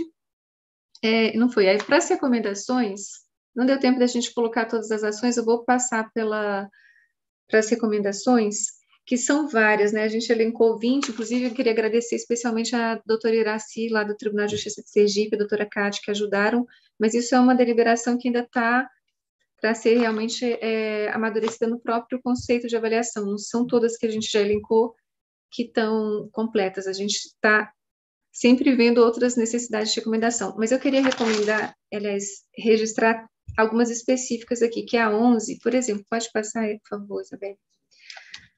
A, a 11, que é muito importante, né? A inclusão da, do monitoramento do número de crianças devolvidas por pais adotantes. Então, a gente pensa, por exemplo, na possibilidade dessa sugestão do SNA incluir isso, né, uma possibilidade de monitorar o número de devoluções e que isso, inclusive, favoreça a responsabilização dos adotantes, né, porque a gente sabe que é, tem que respeitar, mas a gente tem que prevenir a revitimização das crianças, que o objetivo maior do sistema é que elas sejam protegidas e não que corram esse risco, né, kit de revitimização pelo reabandono dentro de uma adoção. E isso também, para a gente, é uma questão de violência institucional. Então, a gente quer fortalecer nossa competência de conseguir essa proteção de prevenção das devoluções.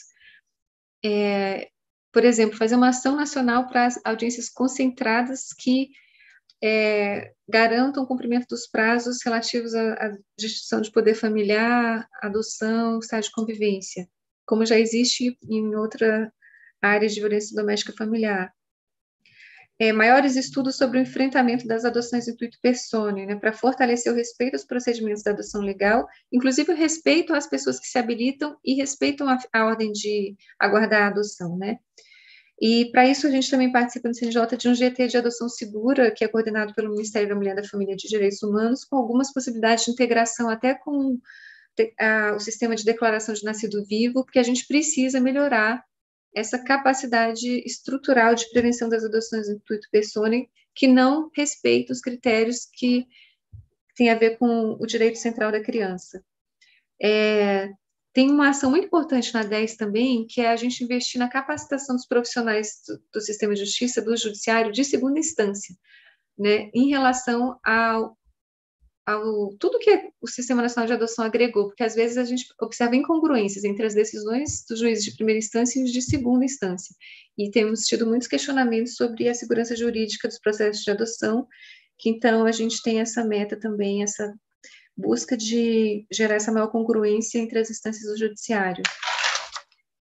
É, essa questão que a Isabelle trouxe bem, né, a gente analisar o que, que faz realmente de, é, o tempo da criança aumentar ou diminuir no acolhimento, considerar uma condição de analisar a data de entrada da criança no serviço de acolhimento, da, é, o tempo de duração de reintegração familiar, então favorecer ainda outras ferramentas que ajudem a gente a ter mais clareza desses procedimentos, desses tempos para conseguir cumprir, porque ainda é um desafio cumprir os prazos.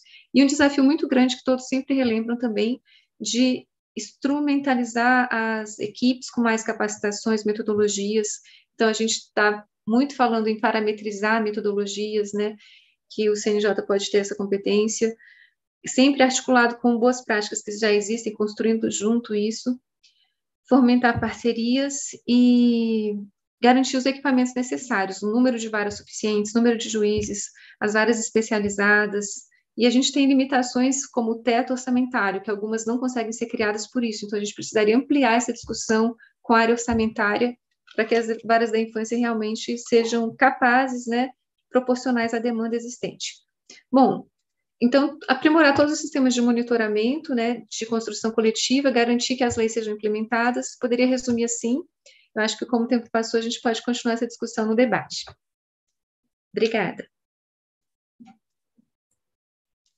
Muito obrigada, Ivane, Isabelle pela realização e apresentação desse estudo, né? A gente sabe da dedicação do Conselho Nacional de Justiça e, portanto, de vocês, a temática do acolhimento e da adoção, é, e também a participação de vocês no processo de avaliação do Plano Nacional de Convivência Familiar e Comunitária, que é uma participação, assim, sine qua non, né? extremamente fundamental para que a gente consiga aperfeiçoar o plano de forma a alcançar todos esses desafios que nós temos aí pela frente. Avançamos muito e sempre vamos dizer sim, avançamos muito, mas ainda temos ainda muito, muito a avançar, né? Esse levantamento, com certeza, representou um robusto conjunto de dados que favorecerá, para além da, da atualização do plano, mas eu penso que, sobretudo, para ampliar o entendimento sobre o cenário do acolhimento de crianças e adolescentes e da adoção, pelo legislativo, pela gestão pública e, por fim, e não menos importante, para a utilização de estudiosos sobre adoção no Brasil. Então, é um estudo extremamente importante, porque é um registro sistemático é, de todo esse cenário, de toda essa trajetória da adoção no Brasil. Muito obrigada, Ivane e Isabela, pelo excelente trabalho que vocês executaram. É, antes de iniciarmos o próximo, o próximo bloco, informamos aos espectadores que o material relacionado à live ficará disponível na descrição do vídeo. Então, desse modo, basta acessar o canal da Rede SUS, procure a live, na descrição tem os links com os materiais, ok? Passaremos agora, nesse momento, a, a ouvir né, os debatedores que farão suas considerações sobre os resultados apresentados. Nós iniciaremos esse bloco, então, e eu já convido para iniciar a fala a conselheira Ieda Castro, representante do Conselho Nacional de Assistência Social e do COGEMAS. Está com a, com a fala, conselheira. Olá, pessoal.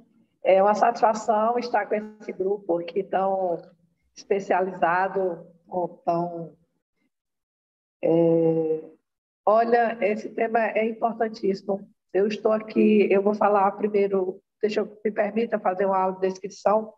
Eu sou Ieda Castro, é, sou uma mulher que uma estatura baixa, tenho cabelos grisalhos, estou usando um vermelho, uma, uma blusa vermelha, óculos de grau, e ao fundo da, da minha fala tem uma parede com um quadro com a foto do prefeito. Eu estou no meu ambiente de trabalho, eu sou secretária municipal Trabalho e Assistência Social do município de Aquiraz. Estou aqui representando o CONGEMAS, que tem assento no Conselho Nacional de Assistência Social. Então, falar desse lugar de gestora municipal é, é muito importante porque a gente tem a vivência na prática das dificuldades que são a vida é, de crianças acolhidas e desse nosso processo é, de adoção. Então, eu quero aqui enaltecer o trabalho, é, o achado, essa, esse estado da arte que o, o relatório traz sobre esses avanços em relação à adoção. E quero destacar aqui alguns pontos que eu entendo é, que são é, bastante relevantes é, para nós que estamos no controle social das políticas de assistência social. É, eu senti falta, não sei se, que, se isso é pertinente, mas eu gostaria de é, propor para vocês que como que a gente poderia qualificar a informação das motivações do acolhimento.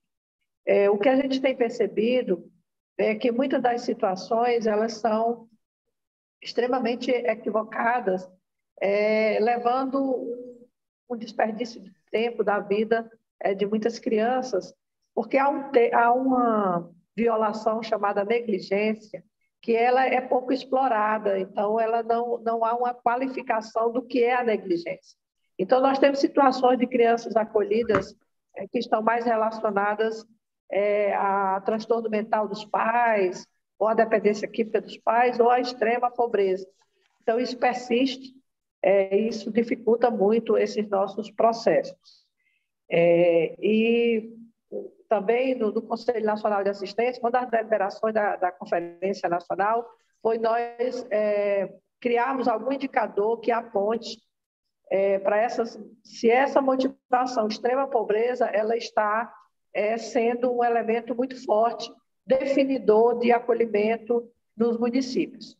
É, a, os dados empíricos nos dizem que há sim um, um uso frequente é, da condição de moradia precária utilizado como negligência. E um, um, ponto que eu também acho super interessante nas recomendações é essa é, tempestividade entre a busca de reintegração familiar e a decisão da, da inserção no cadastro de adoção. Então, há, há uma lacuna aí de tempo é, que a gente tem crianças que chegam recém-nascidos, entregues por é, entrega voluntária, ficam no acolhimento e estão há dois anos esperando uma definição, é, porque dentro do processo judicial há uma necessidade do depoimento da mãe, de um novo depoimento, e às vezes é, tem dificuldade em localizar essa mãe. É, também acho muito importante reiterar a excepcionalidade da adoção, acho que isso é interessante. É, o fortalecimento da rede de proteção às famílias, e aí eu chamo a atenção para a necessidade de mais audiências concentradas. Não é? A gente tem dialogado pouco nas redes, talvez o juizado possa, adotando essa prática com mais frequência, nos forçar a integrar mais, a estar mais juntos. É, a, avançamos pouco na modalidade família acolhedora, então isso seria é, uma outra alternativa, assim como república para egressos. Há muito pouco desse serviço, dessa modalidade.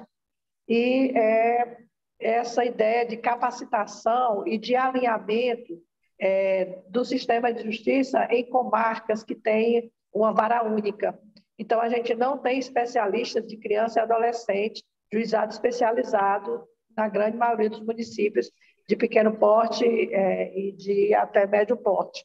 Então, são varas únicas e que muitas vezes é, é, o próprio juiz precisa é, de maior instrumentalidade com a sua equipe para que a gente consiga avançar. No mais, eu diria que esse estudo que vocês estão apresentando agora, eles reforçam é, a ideia de que o Plano Nacional de Convivência ele é atual, ele é necessário, o que nós precisamos é identificar esses entraves para continuar avançando. Parabéns, nossos cumprimentos a cada um de vocês que se debruçaram sobre esse estudo.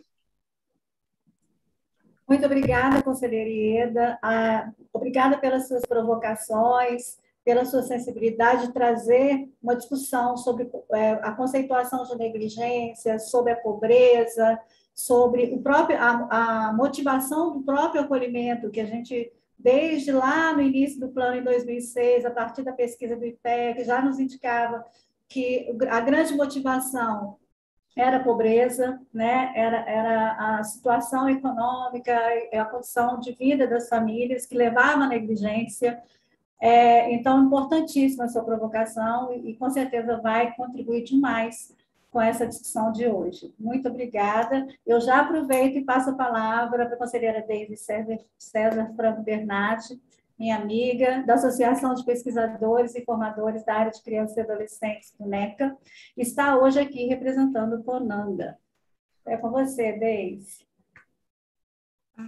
Bom dia, muito obrigada por essa possibilidade de estar aqui com vocês minha, meu, meus todos os colegas da mesa, na, na figura do Dr. Richard, que fazer e revê-lo, a querida Ivânia, e cumprimentá-los pela qualidade do estudo realizado, do levantamento histórico.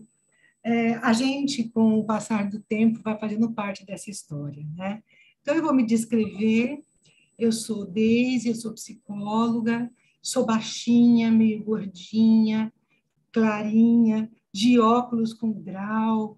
Meu cabelo tá mais branco do que loiro nesse momento, que não deu para retocar. Estou é, vestindo uma blusa branca com uma estampa verde e laranja. É, eu estou sorrindo, eu estou contente por estar aqui e cumprimento a todos que estão acompanhando este momento.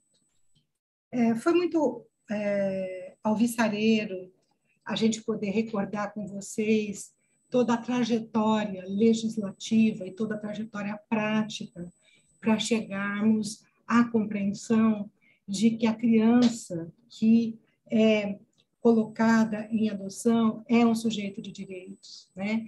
E que a adoção é uma medida excepcional, extraordinária e complexa, e que para que ela possa ser realizada de, focada, centrada no superior interesse da criança, nós temos que, além de colocar a lei em prática, nós precisamos, de fato, é, lidar com as questões culturais que estão implicadas nos nossos meios de comunicação, que estão na, no seio das famílias e que estão também, obviamente, nos operadores do direito. Né? eu acho que a IEDA tocou num ponto fundamental, que é a gente valorizar e muito as equipes interprofissionais das varas da infância e juventude e a ampliação das varas especializadas na área da infância. Sem isso, a operacionalização da lei ela fica muito dificultada, até porque a maioria dos municípios brasileiros são municípios de pequeno porte e de médio porte, né? Então, é, nós temos que pensar no conjunto do sistema é, de proteção de crianças e adolescentes, ou seja, no sistema de garantia de direitos, onde o sistema de justiça faz parte e integra. Eu fiz parte da Coordenadoria da Infância e da Juventude em São Paulo, da implementação dessa coordenadoria, e pude vivenciar a visita aos municípios para nós levarmos a ideia das audiências concentradas. E pude vivenciar o quanto é complexo e o quanto é importante mudar o lugar do diálogo, a, é, colocar uma, uma possibilidade mais horizontalizada de relação entre o sistema de justiça e o sistema protetivo. As audiências concentradas, eu fiz o primeiro estudo sobre o efeito das audiências concentradas na vida das crianças que estavam acolhidas naquele período em que eu estava ali como assessora na Coordenadoria da Infância do Tribunal de Justiça do Estado de São Paulo. E nós pudemos perceber que as audiências concentradas tinham permitido a compreensão, primeiro, do plano individual de atendimento, o quanto é importante que toda criança tenha a sua singularidade reconhecida e a sua possibilidade de participação. Ou seja, o quanto o plano individual de atendimento, que é elaborado pelo serviço de acolhimento com a rede de atendimento, ele precisa incluir a equipe da Vara da Infância e Juventude, porque é no plano individual de atendimento que você pode verificar a possibilidade de reintegração familiar e também rever a motivação do acolhimento. Ieda, as últimas pesquisas realizadas, inclusive uma pesquisa que foi realizada pelo NECA, para subsidiar, para auxiliar nesse processo de avaliação do Plano Nacional.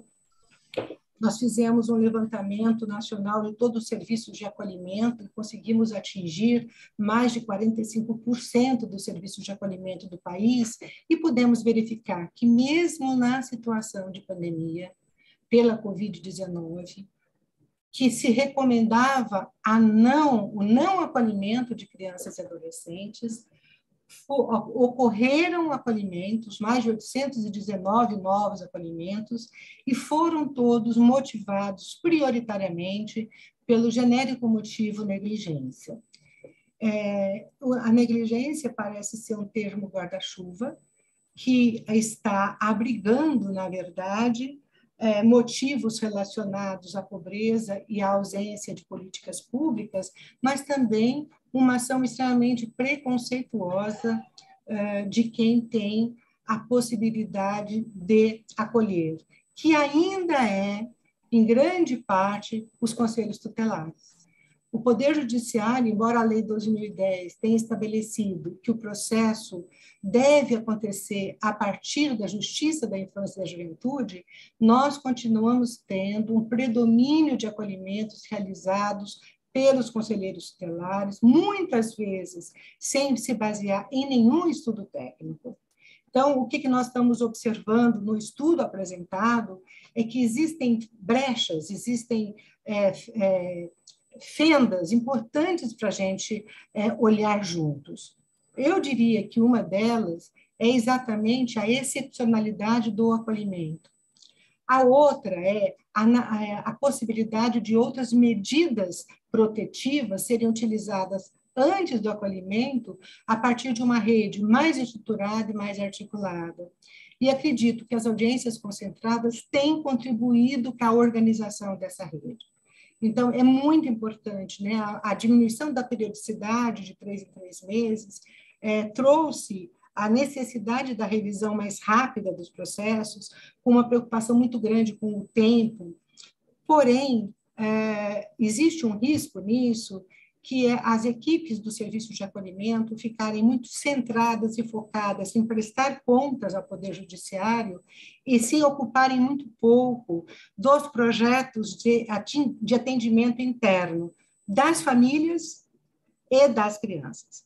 Então, eu acho que existe um outro ponto muito importante que a gente distinguir e fazer a complementariedade entre o que é o serviço de acolhimento, atender a família para manter vínculos, e o que é o serviço do PAEF, do CREAS, para manter esta família acompanhada na sua reorganização. Né?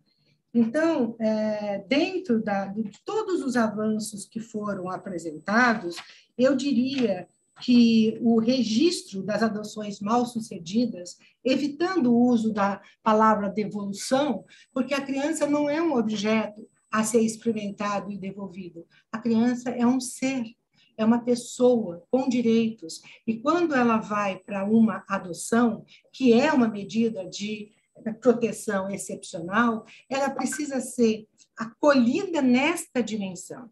E para ela ser acolhida nessa dimensão, nós precisamos não só aparelhar o Sistema Nacional de Adoção para o registro das adoções não-sucedidas, mas também para o momento em que essa adoção, é, em que essa, entre aspas, devolução é realizada.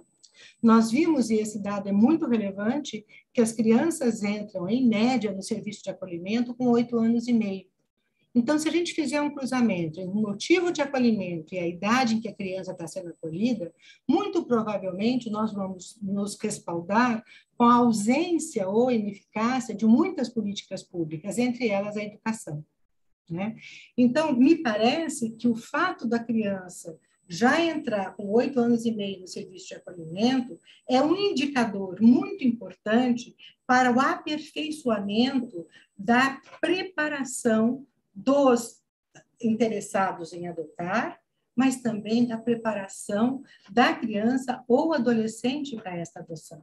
E essa preparação, ter clareza de que ela vai ser uma complementariedade entre a equipe interprofissional das varas da infância e juventude e a equipe interprofissional do serviço de acolhimento, com quem a criança está vivendo, com quem ela criou vínculos de afetividade e pertencimento. E isto fazer parte do pós-adoção. Ou seja, faz parte da história da criança ter passado pelo sistema protetivo. E isso não pode ser retirado da sua vida como uma mácula. Pelo contrário, exatamente para a gente ter uma adoção qualificada, é importante que se valorize os vínculos afetivos que a criança construiu ao longo da sua vida. E, portanto, não cortar de uma maneira abrupta toda e qualquer relação com quem foi responsável pelo seu cuidado e pelos seus coetâneos, seus amigos, criados na permanência no serviço de acolhimento. Acho também que a gente não pode demonizar o serviço de acolhimento. Né? Nós, de alguma maneira, vamos colocando em cima do serviço de acolhimento uma, uma, uma pecha de que ele é muito, é, é, vamos dizer assim, prejudicial ao pleno desenvolvimento de crianças e adolescentes. Né? Então, nós teríamos talvez pensar numa outra via, que é pensar, primeiro, que nós temos que ter uma, varia, uma variedade de medidas alternativas de cuidado. Nós precisaríamos ter, por exemplo, o acolhimento conjunto mãe-criança, para evitar a separação e preparar, acompanhar o desenvolvimento da maternagem, da, da qualidade do cuidado. Né? Muitas vezes a mãe, para alcançar a autonomia, pensando nos modelos e desenhos familiares, e nós temos aí as famílias monoparentais femininas em grande extensão, por ser um país machista, que, não, que desconsidera a responsabilidade paterna, nós não temos ainda uma, uma cultura de buscar a responsabilidade da figura paterna em relação à criança. Ainda concentramos tudo isso na mulher, na mãe, né? tanto na hora de retirar o poder familiar, como na hora da reintegração familiar. Então, o investimento na reintegração familiar antes da adoção pressupõe uma rede articulada, mas pressupõe também serviços públicos qualificados e disponíveis ao povo e à população. Né? Então, se nós fizermos um cruzamento mais efetivo entre motivos de acolhimento e duração do trabalho para a reintegração familiar, eu acho importante que o Sistema Nacional de Adoção e Acolhimento não fique preso apenas ao prazo, mas a qualidade do trabalho que pode ser estabelecido para a reintegração familiar. Então, teríamos que ter aí um campo para verificar: essa família está sendo acompanhada pelo CREAS? Essa família está tendo flexibilidade para poder encontrar seus filhos? Ela tem condição de chegar até lá? Como essa família se relaciona com a criança quando está lá envergonhada? Achando que as condições que o serviço de acolhimento oferece sempre serão melhores do que a sua condição de vida, e que por isso ela abre mão do seu filho, não porque não o ama, mas porque não pode dar a ele a prioridade, a prioridade que ele tem nos serviços a partir do momento que é acolhido? São questões nodais de um país é, que ainda mantém uma desigualdade social e estrutural. Né? Eu também queria dizer que é, um dado que me chama a atenção, que é a questão da, da destituição do poder familiar. Né? Eu queria é, chamar a atenção para o registro da história da entrega do filho em adoção, a importância desse registro, porque é um direito dessa criança revisitar a sua história a partir dos relatórios que, que documentam a sua trajetória, tanto na entrega para o serviço de acolhimento, quanto na entrega para a adoção, quanto na reintegração familiar, quanto na entrada numa família adotiva. Então, eu queria, com isso, dizer mais uma vez da importância da escuta da família, com, com, com o devido respeito e sem preconceito, para poder trazer as informações subjetivas que essa criança mais tarde vai precisar. Da mesma forma, informar esta pessoa sobre as implicações da decisão da retirada do poder familiar, muitas vezes pouco compreendido, né? E isso não só para a família, mas também para a criança. O que significa para a criança deixar de fazer parte da sua família de origem e ficar à disposição de uma nova família. Como trabalhar isso antes mesmo dela ser inserida no processo adotivo? Porque, é, como nós vimos, a grande maioria das crianças vai permanecer até a maioridade no serviço de acolhimento. Nós ainda temos que mudar o sentido da adoção no Brasil. E isso é um processo histórico de mudar o lugar da criança na sociedade, dela deixar de ser vista como um objeto de pertencimento ao adulto ao Estado, para ela ser um sujeito de direitos que tem todos os direitos da pessoa adulta, mas tem direitos especiais em função da sua fase peculiar de desenvolvimento. Eu acho que o, é, os avanços que o Conselho Nacional de Justiça fez são infindáveis e eles precisam ser realmente mais conhecidos, até para que as, a Justiça da Infância e da Juventude tenha orçamento dentro do Poder Judiciário. Que a criança seja prioridade também no Poder Judiciário. Né? E que é, o doutor Richard talvez vá lembrar disso, quando nós estávamos na coordenadoria, nós descobrimos que não havia um tostão para a Justiça da Infância e Juventude no orçamento de um determinado ano. E que nós fizemos um esforço extraordinário, conseguimos colocar a, a, a, a incluir a, a rubrica para que, a partir de então, nós tivéssemos um orçamento. Né? Então, dentro do próprio Poder Judiciário, a criança precisa se tornar prioridade.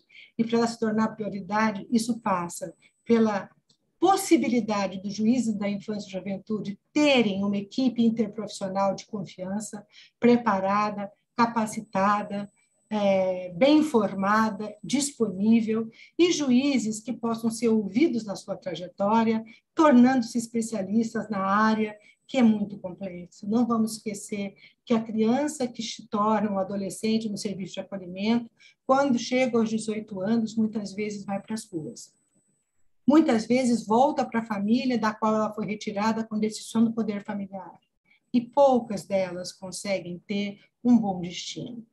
Então, além de ter repúblicas, nós temos que ter uma outra mentalidade do cuidado com a criança no serviço de acolhimento, seja ele institucional ou familiar, né? que é pensar a autonomia como um processo educativo não, não, a autonomia não se dá apenas através do trabalho, da inserção no trabalho, da profissionalização. Se dá a partir da inculcação da sua importância como sujeito. E isso se dá numa educação contínua. Então, mesmo aquela criança que vai retornar à família de origem, ela precisa voltar diferente, porque ela também é um sujeito ativo que pode mudar a dinâmica da sua família e que está da sua comunidade. Então, nós não podemos esquecer que investir na família e investir na criança são é, processos que acontecem em todos os eixos do Plano Nacional. E que o eixo da adoção ele vem complementar os dois eixos anteriores. Então, sem prevenir o rompimento de vínculos, sem qualificar a rede de serviços e, e, e ampliar as alternativas de cuidado, nós não teremos uma adoção melhor. Então, nós precisamos fazer o conjunto das mudanças e comemorar o conjunto das conquistas históricas realizadas. Então, se a adoção no passado visava o adulto adotante, hoje ela visa a criança, mas isso é alguma coisa que nós temos que mudar todos os dias, em nós mesmos também. Gente, eu acho que essa é a minha contribuição. Eu não sabia muito bem qual era o meu tempo, não quero avançar no tempo do, meu, do próximo. Eu quero agradecer muito essa possibilidade e ficar disponível para qualquer questionamento, pergunta ou comentário posterior. Obrigada.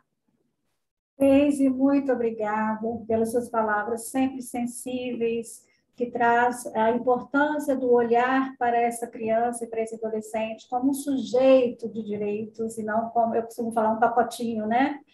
é, mas sim um sujeito de direitos que precisa ter respeitado os seus, os seus sentimentos, a sua capacidade, a sua fase de desenvolvimento, o seu olhar sobre o que a situação em que ele mesmo vive, né? A importância de olhar para essa criança como sujeito pensante, né, como sujeito que tem sentimentos, né? E também é, as suas palavras, a sua sensibilidade né, de psicóloga, de atuante na área da criança e adolescente, mas são palavras sensíveis, contudo extremamente assertivas, né? Elas refletiram os dados apresentados no que tange os desafios que teremos que enfrentar no processo de atualização do Plano Nacional de Convencionalidade Comunitária, né? E a gente o tempo todo vai ter que trazer essas palavras assertivas para esse processo de atualização. E quero também aproveitar e agradecer em seu nome, pela sua pessoa, o, imenso esforço empreendido pelo Movimento Nacional para a Convivência Familiar e Comunitária, nesse processo de avaliação e, e que vai empreender no processo de atualização do plano, né?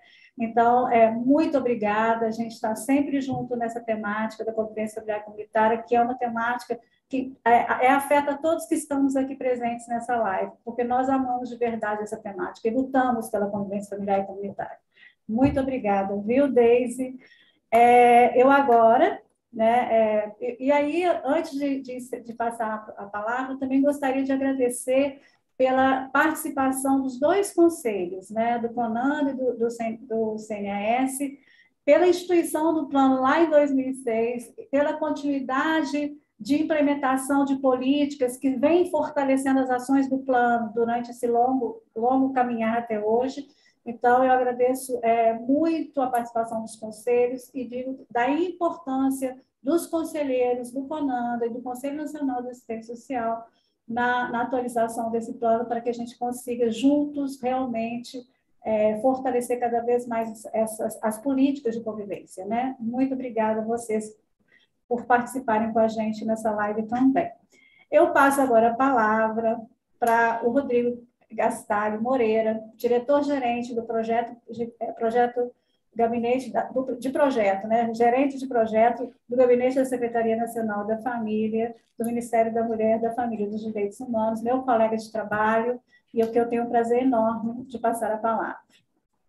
Muito bom dia a todos. Eu que agradeço, Denise, agradeço especialmente a CNAS o convite, aos colegas queridos aqui, Ivane, Isabelle, Richard, Ida, Senhora Deise, que alegria ouvi-la. Parabéns, muito bom.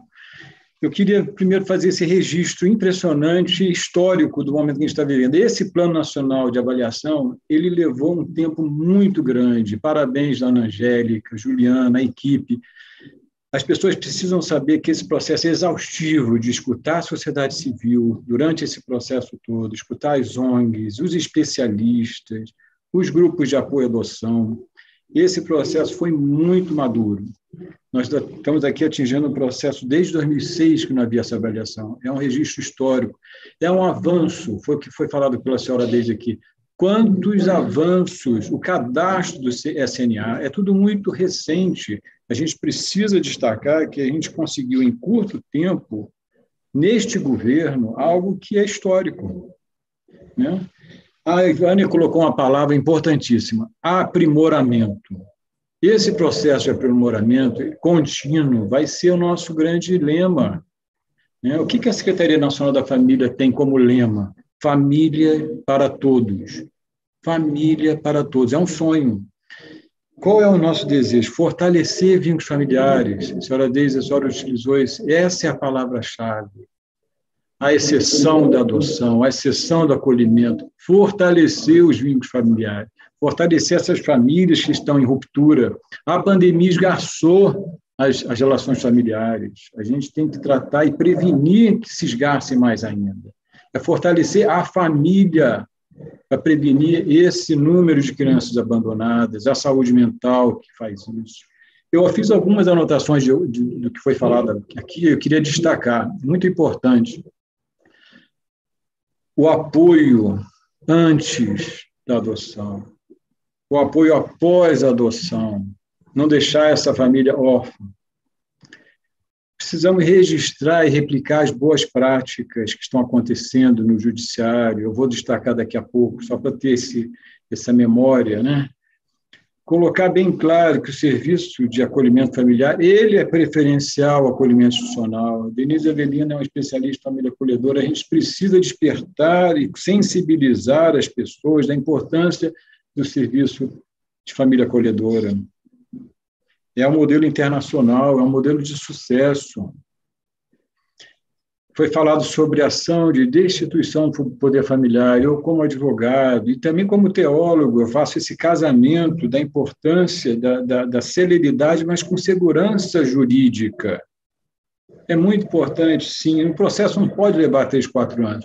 Precisamos, sim, esgotar as possibilidades de reintegração familiar, mas tem um limite. Né? O perfil, esse imaginário social do perfil, como que a gente consegue trabalhar isso sensibilizando, sensibilizando, promovendo ações de sensibilização. A importância da preparação, da qualificação e da habilitação dos candidatos a adotar. Lá atrás, fui conselheiro tutelar, eu percebi a importância da preparação, não só da equipe técnica, como foi falado pela senhora Deise, mas também dos candidatos é importantíssimo para evitar justamente a rejeição e a devolução e a falta de preparo dos casais que vão adotar. Né?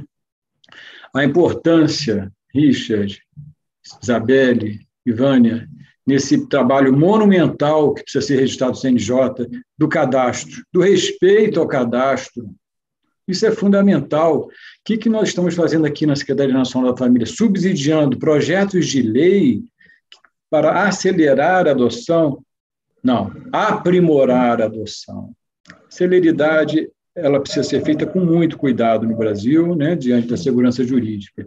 Mas o cadastro, o diagnóstico que o CNJ fez, ele me subsidia demais para alimentar novos projetos de lei.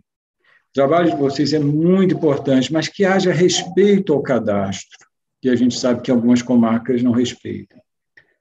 A adoção necessária, a adoção legal, a adoção do grupo de irmãos, é esse o universo. E como trabalhar isso? De novo, sensibilizando, sim, preparando.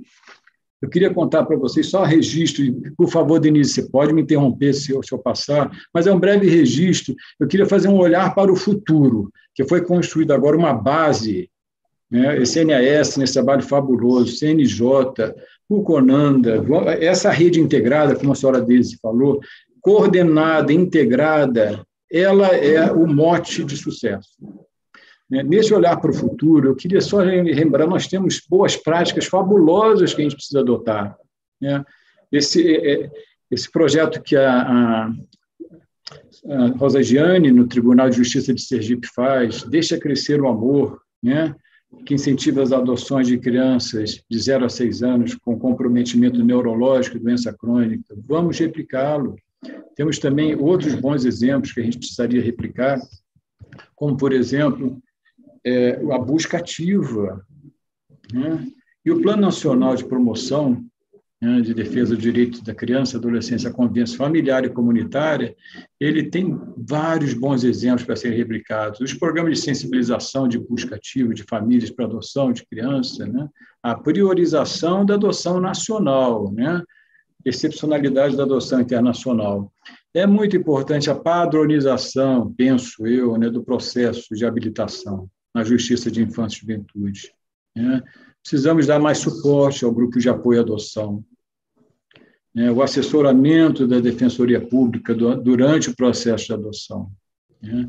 E, principalmente, a prevenção da ruptura de vínculos familiares. Né? Foi falado muito durante a avaliação do plano sobre serviços de acolhimento e alternativas ao acolhimento institucional.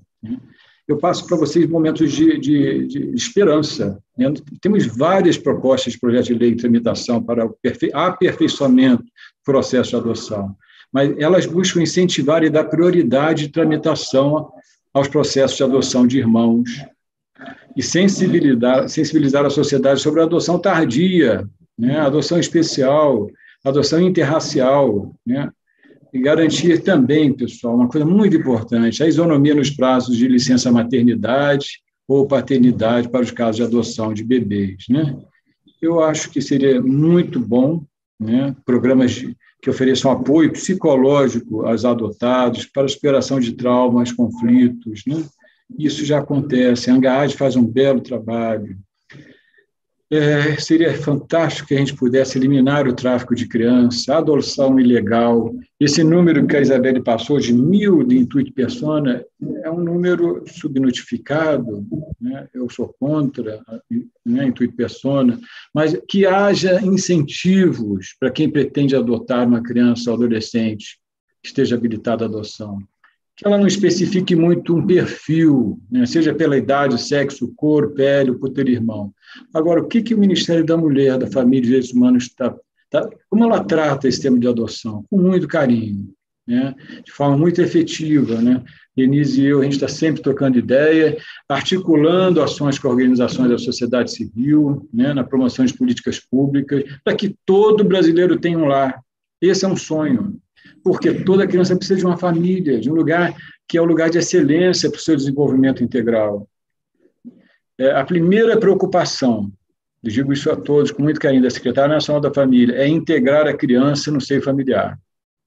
É, desde o seu primeiro processo de medida protetiva de acolhimento até o seu retorno à família biológica, ou sua colocação em família substituta. Né? O Serviço Nacional de Acolhimento e Adoção, né, nessa direção, ela, ele contribui muito.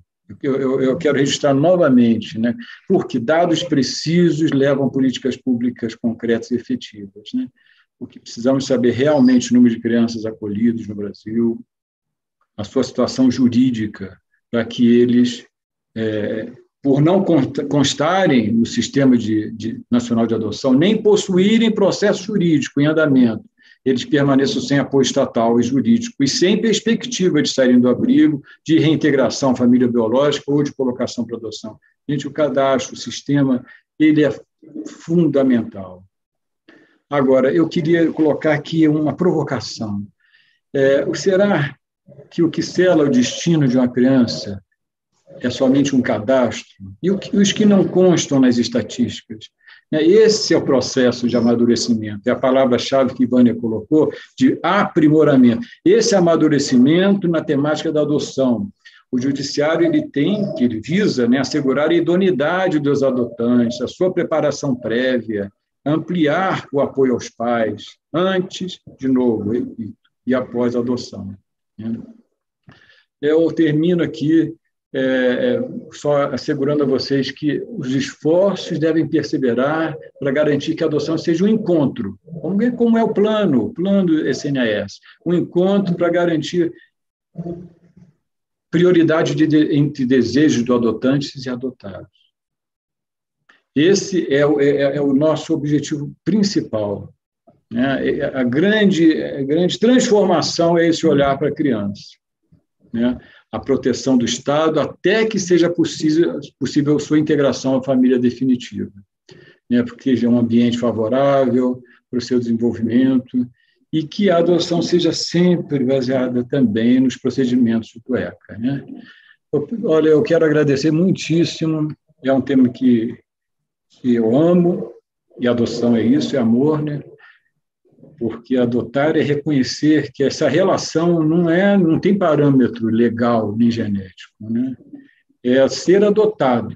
Né? Então eu deixo essa mensagem para o público aí, os esforços desse grupo em deixar claro que isso tudo que a gente está fazendo é fruto de um amor. Né? Então muito obrigado. Rodrigo, nós aqui agradecemos a sua participação. É, hoje você trouxe destaque a importância de fortalecer as políticas de apoio à família, seja ela a família de origem, a família extensa ou a família adotiva, né? Trouxe importantes pontos a ser cuidado nesse, nesse processo de, de aprimoramento, como você diz, ou de atualização do plano, como necessário subsídio ao legislativo na elaboração de novas leis sobre a, a adoção, ou sobre a própria situação de acolhimento institucional, né? Isso é importantíssimo.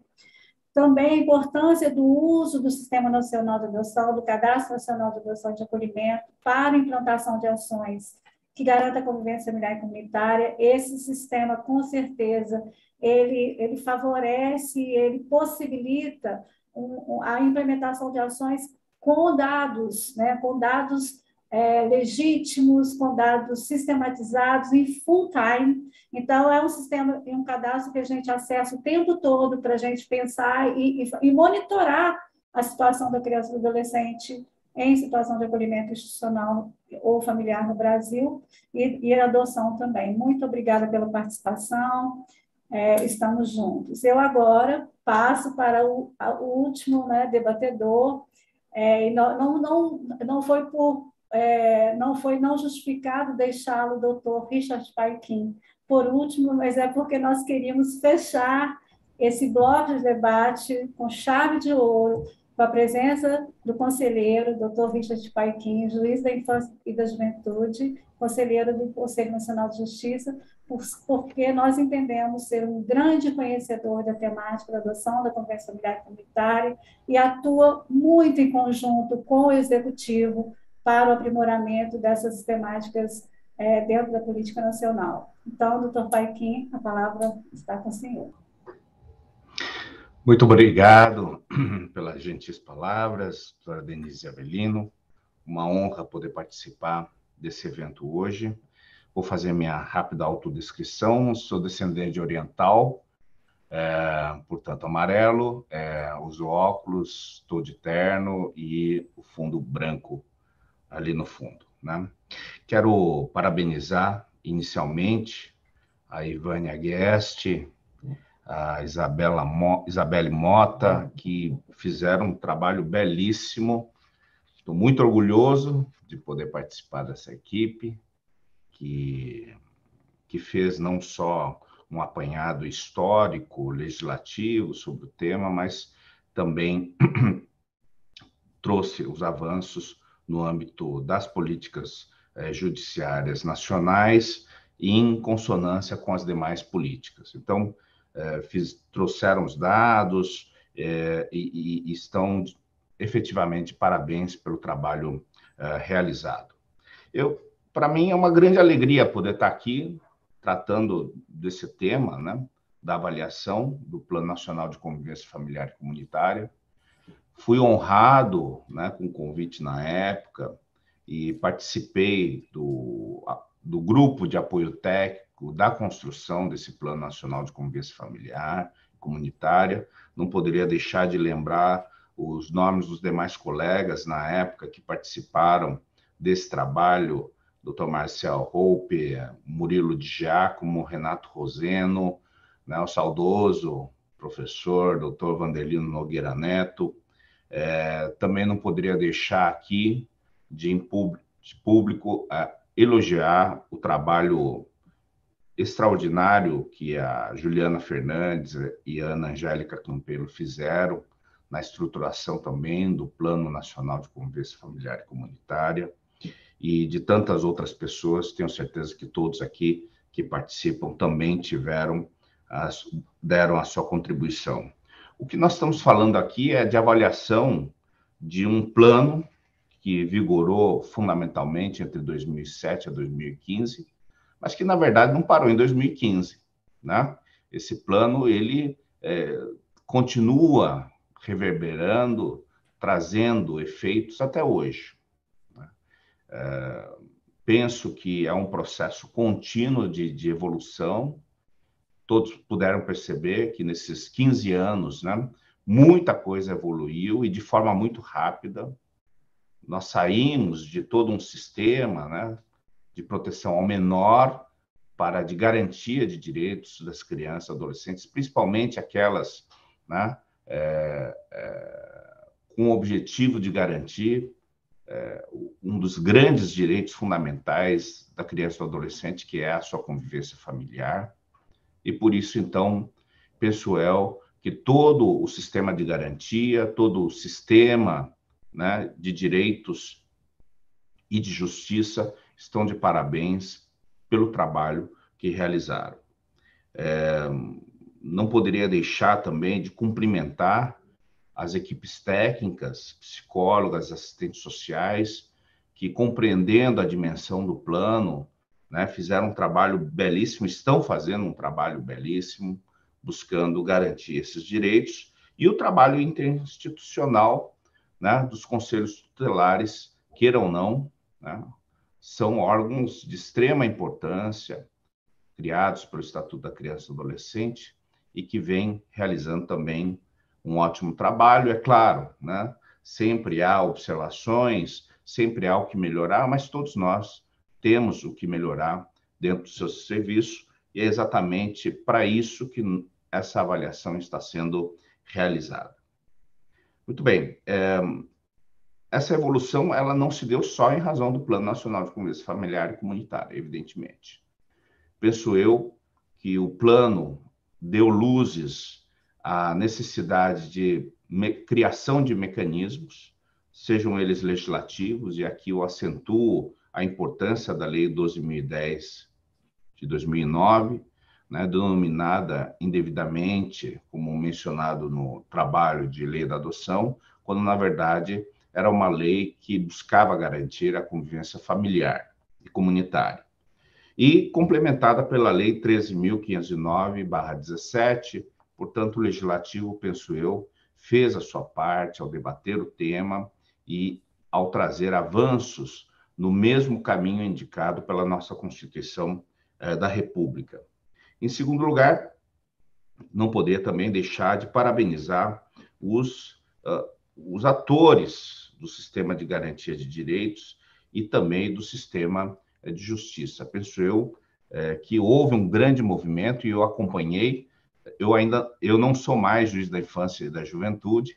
É, atualmente sou juiz da Fazenda Pública né, de Campinas, mas é, eu fui juiz da infância durante 14 anos e pude acompanhar, então, desde 2002, toda a evolução que nós tivemos na área da infância e juventude, e não foram poucas. Então, é, evidentemente, os órgãos públicos todos estão de parabéns, quero parabenizar o SNDSA, né, o, a Secretaria Nacional dos Direitos da Criança e Adolescente, e também é, os demais ministérios, né, por é, fazerem essa avaliação, de convidarem as outras instituições também para fazer a avaliação e para pensar os próximos passos.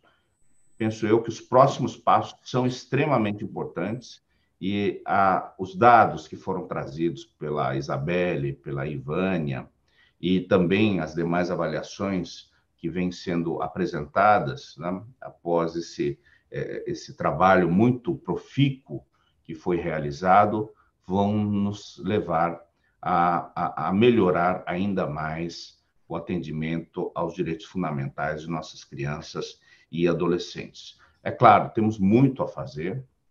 É, eu fui honrado, né, é, também pelo eminente ministro Luiz Fux para coordenar o, o FONINGE, o Fórum Nacional da Infância e Juventude, do CNJ, a partir do dia 20, agora de fevereiro, tendo em vista, infelizmente, a saída da eminente conselheira Flávia, mas é, me coloco à disposição de todos. Né? É, eu, eu vi os, as, as sugestões aqui apresentadas pela Isabela e pela Ivânia, mas eu, eu acho que nós podemos ajustar uma coisa aqui e acolá, não vou perder tempo das senhoras e dos senhores com essas observações, penso eu que nós podemos fazer os ajustes necessários, teria algumas sugestões também para apresentar aqui, como é é, é, é, é, encaminhamentos né, para serem levados para a, a Secretaria Nacional, para que, se houver a decisão pela criação de um novo plano, possamos, então, em conjunto, é, contribuir para evoluir todo esse processo. Né? Ah, ah, nós temos que. Eh, não é muito difícil, basta né, que todos nós eh, venhamos abrir os olhos para as nossas crianças e adolescentes que estão nos, no, no, nos abrigos, né, nas, uh, nas entidades de acolhimento, né, nos serviços, melhor dizendo. É, e quando a gente olha para eles, não há como nós não deixarmos efetivamente de buscar soluções para ajudar a, a, a garantir essa convivência familiar dessas nossas crianças e adolescentes que estão lá. Né? Infelizmente, ainda temos crianças e adolescentes que crescem dentro dos, dos serviços de acolhimento, infelizmente. Né? Então, crianças que estão lá há 18 anos, que estão há 15 anos, que estão há 10 anos, né? E quem consegue olhar e conhecer essas crianças sabe que há muito ainda a fazer. Então, quero parabenizar todas pela exposição, né? parabenizar mais uma vez as, as secretarias pela realização dessa avaliação e de todos os demais parceiros e desejar que em breve possamos, então, juntos, buscar novas soluções para a evolução né, dos trabalhos. Para mim foi uma grande alegria, não só ter participado é, da época da construção desse plano, mas também é, de poder ter trabalhado junto com a Isabelle, com a Ivânia, para sob a então na época presidência do eminente ministro Dias Toffoli, ter, termos alcançado a nacionalização do Sistema Nacional de Adoção e de Acolhimento. Né? É, é um sistema que tem que ser aperfeiçoado, evidentemente. Né? É, penso eu também que temos que resolver essa questão é, da, da, dos dados, né? É, torná-los cada vez mais fidedignos, de exigir o lançamento de todos os dados. Né? E, e, e nesse processo de construção, todos estão convidados a pensar juntos. Mais uma vez, obrigado eu vou pedir desculpas, Denise, né? mas eu tenho uma audiência agora às 11h30, talvez não consiga ficar para os debates com o público. Mas a Isabelle e a Ivânia me representam, com certeza elas vão é, é, responder ainda com, com mais rigor né? todas as perguntas. Obrigado pela oportunidade, parabéns pelo trabalho a todas e todos. Obrigada, doutor Richard. Mas a gente agradece muito por sua trajetória na defesa dos direitos da criança e adolescente. Né? O imenso trabalho que o senhor desenvolveu, é, e esse trabalho foi fundamental para o aprimoramento do judiciário né? e para o aprimoramento desse direito da convivência familiar comunitária, não só no sistema judiciário, mas em, todo, em todos os outros poderes e dimensões de poderes no Brasil. Eu queria aproveitar também para registrar né, que o Dr. Toffoli e o senhor teve um papel fundamental na, na consolidação do, do SNA, né, e, e, esse sistema é extremamente importante para a gente, para acompanhar e monitorar né, a situação de crianças e adolescentes em, em acolhimento e adoção. E agradecê-lo pelo apoio e parceria do CNJ na avaliação do plano, na realização dos dois estudos né, que iniciaram na, na sua gestão e agora estão na gestão da doutora Trícia Navarro então, e do doutor Marcos Lívio. Muito obrigada por tudo. É, o senhor está numa outra seara agora, mas eu tenho certeza que a infância, né, que a criança e a adolescência está dentro do senhor e que a gente vai poder contar sempre, né, com o seu conhecimento, com o seu entendimento, com a sua sensibilidade. Muito obrigada. É, depois encerramos esse bloco né, de, de, debatedores, a gente passa agora para os comentários finais. E nesses comentários finais, é, quem vai, vai, realizar vai ser a Ivânia Guest e a doutora Isabela Mota, que elas vão responder é, e fazer as suas considerações finais sobre é, os resultados apresentados por elas. Mas antes Ivana e Isabela, eu gostaria de fazer, de, de destacar um comentário da Elisa Branca e da Juliana Fernandes, que fala sobre a necessidade de, de cursos preparatórios para os pretendentes é, e, e, sobre um maior apoio, suporte às famílias adotantes com relação à adoção de crianças com necessidades especiais. Né?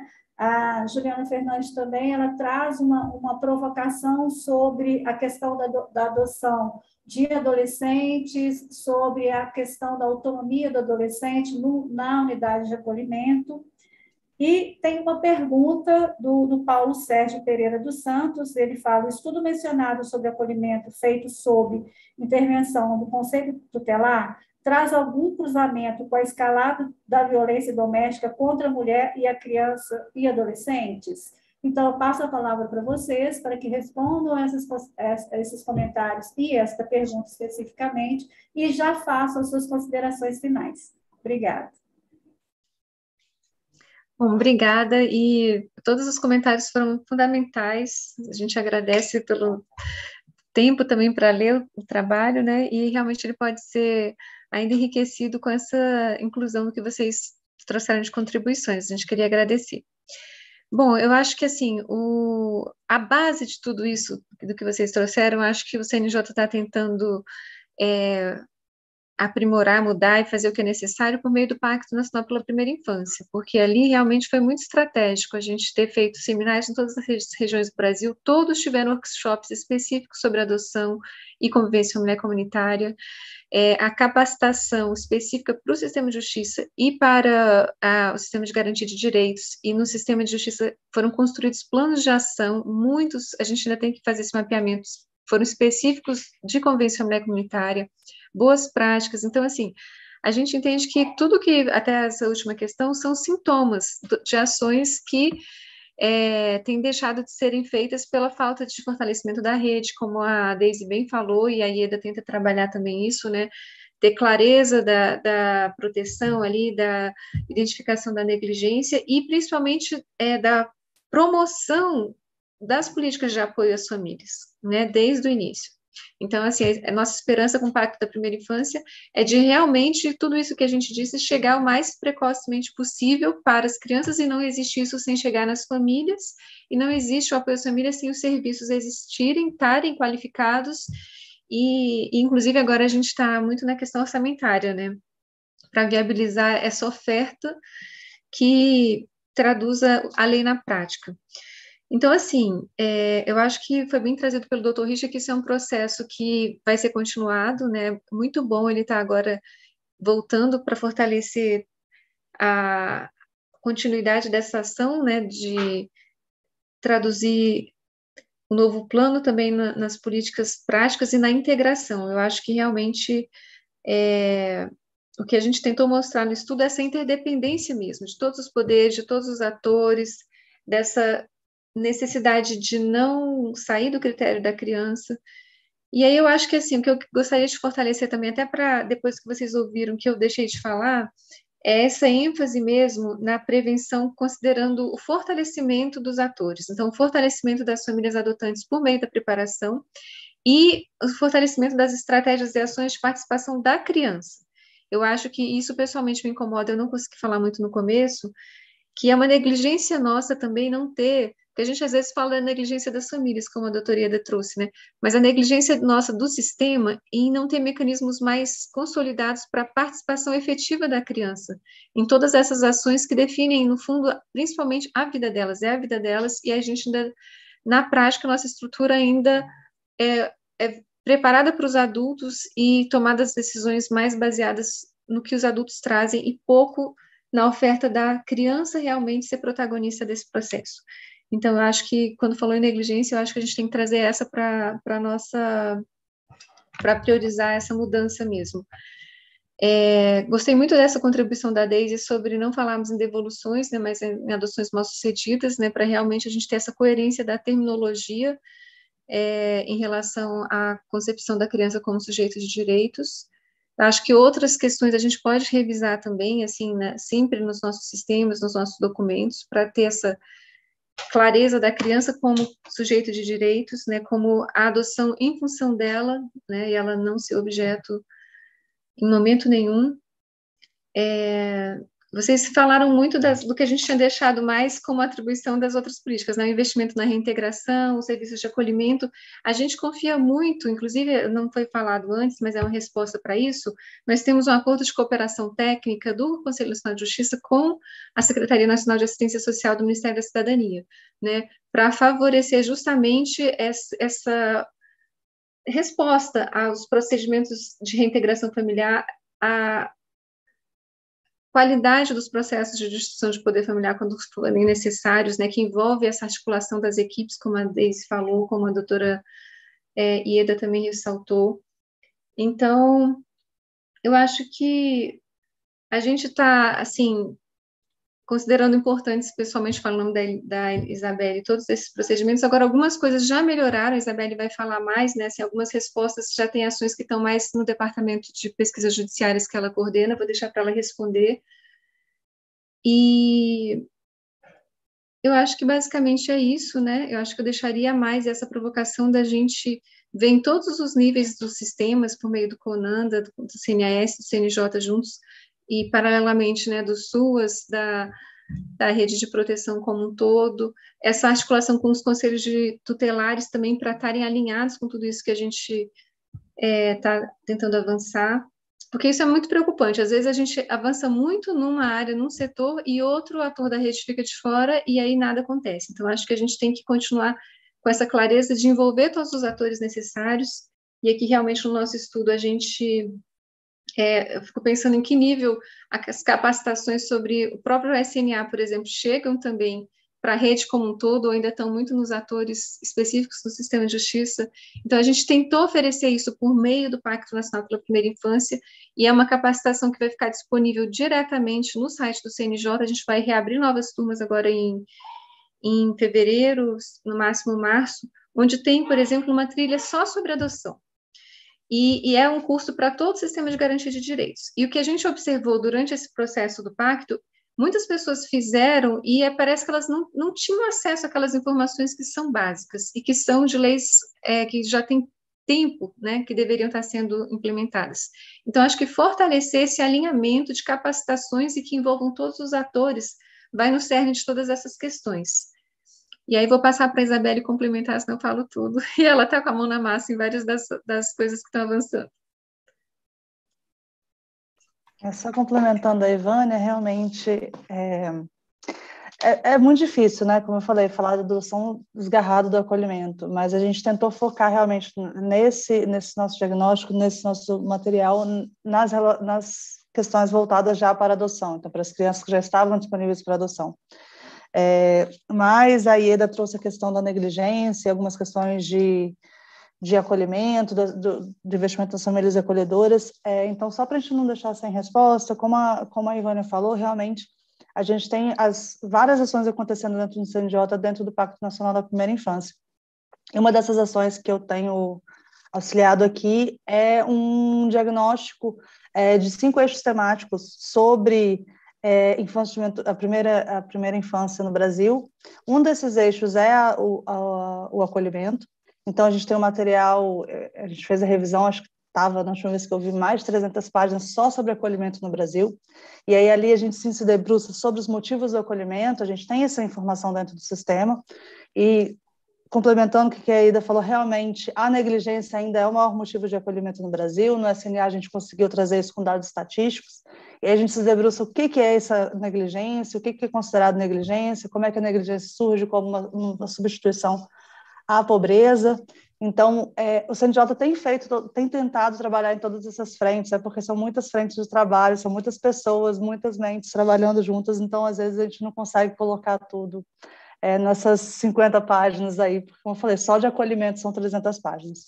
Né? Mas a gente tem, tem sim pensado, a gente tem pensado também nos tempos de processos, né? Houve, o, é, agora no ano passado, houve a, o provimento 118 da Corregedoria, que alterou o provimento 36 sobre as audiências concentradas, e aí já existia, logicamente, a determinação legal da, da reavaliação a cada três meses, mas agora também está no provimento explicando como deve ser feito, e, de novo, é, falando da importância das audiências concentradas.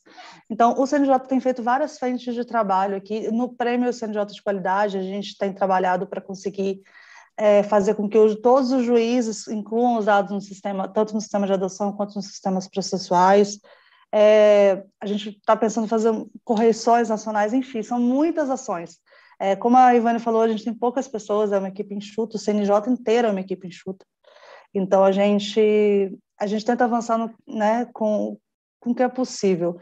E, com certeza, essas considerações que vocês trouxeram, essas questões que vocês trouxeram, estão sendo pensadas, e se não estavam, pensaremos, incluiremos aqui também nos nossos planos de trabalho para continuar sempre avançando nas questões da adoção e do acolhimento no Brasil, que é nosso objetivo principal. E a volta do Dr. Richard com certeza vai ser um grande aliado, ele volta agora como conselheiro, ele falou que vai ser meu foninho, então com certeza teremos muitos frutos aí nos próximos anos em que ele estiver é, com a gente aqui trabalhando é, para realmente garantir o melhor interesse das crianças e adolescentes.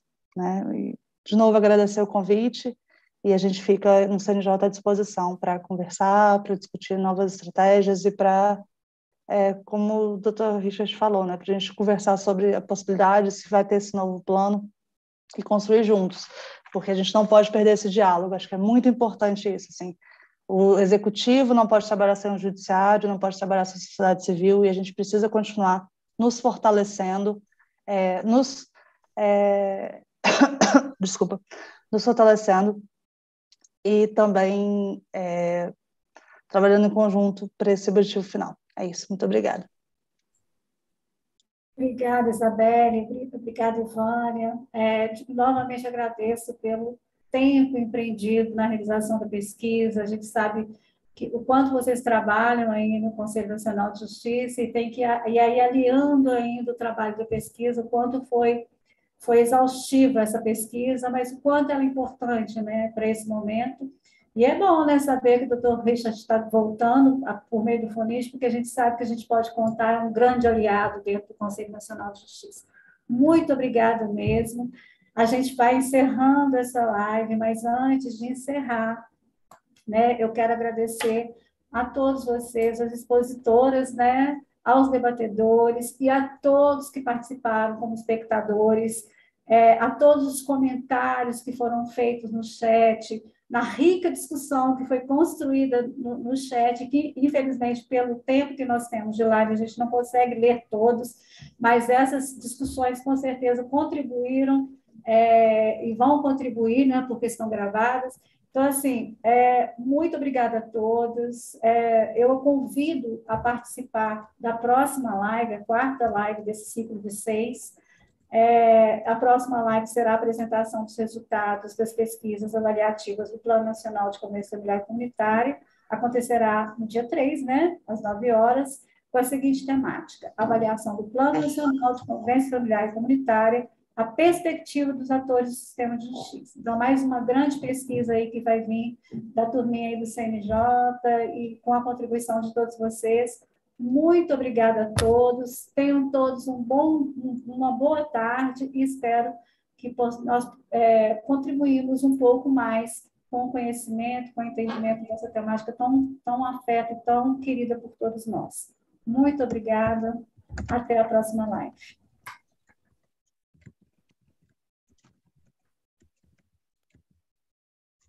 E aí, gente, encerramos?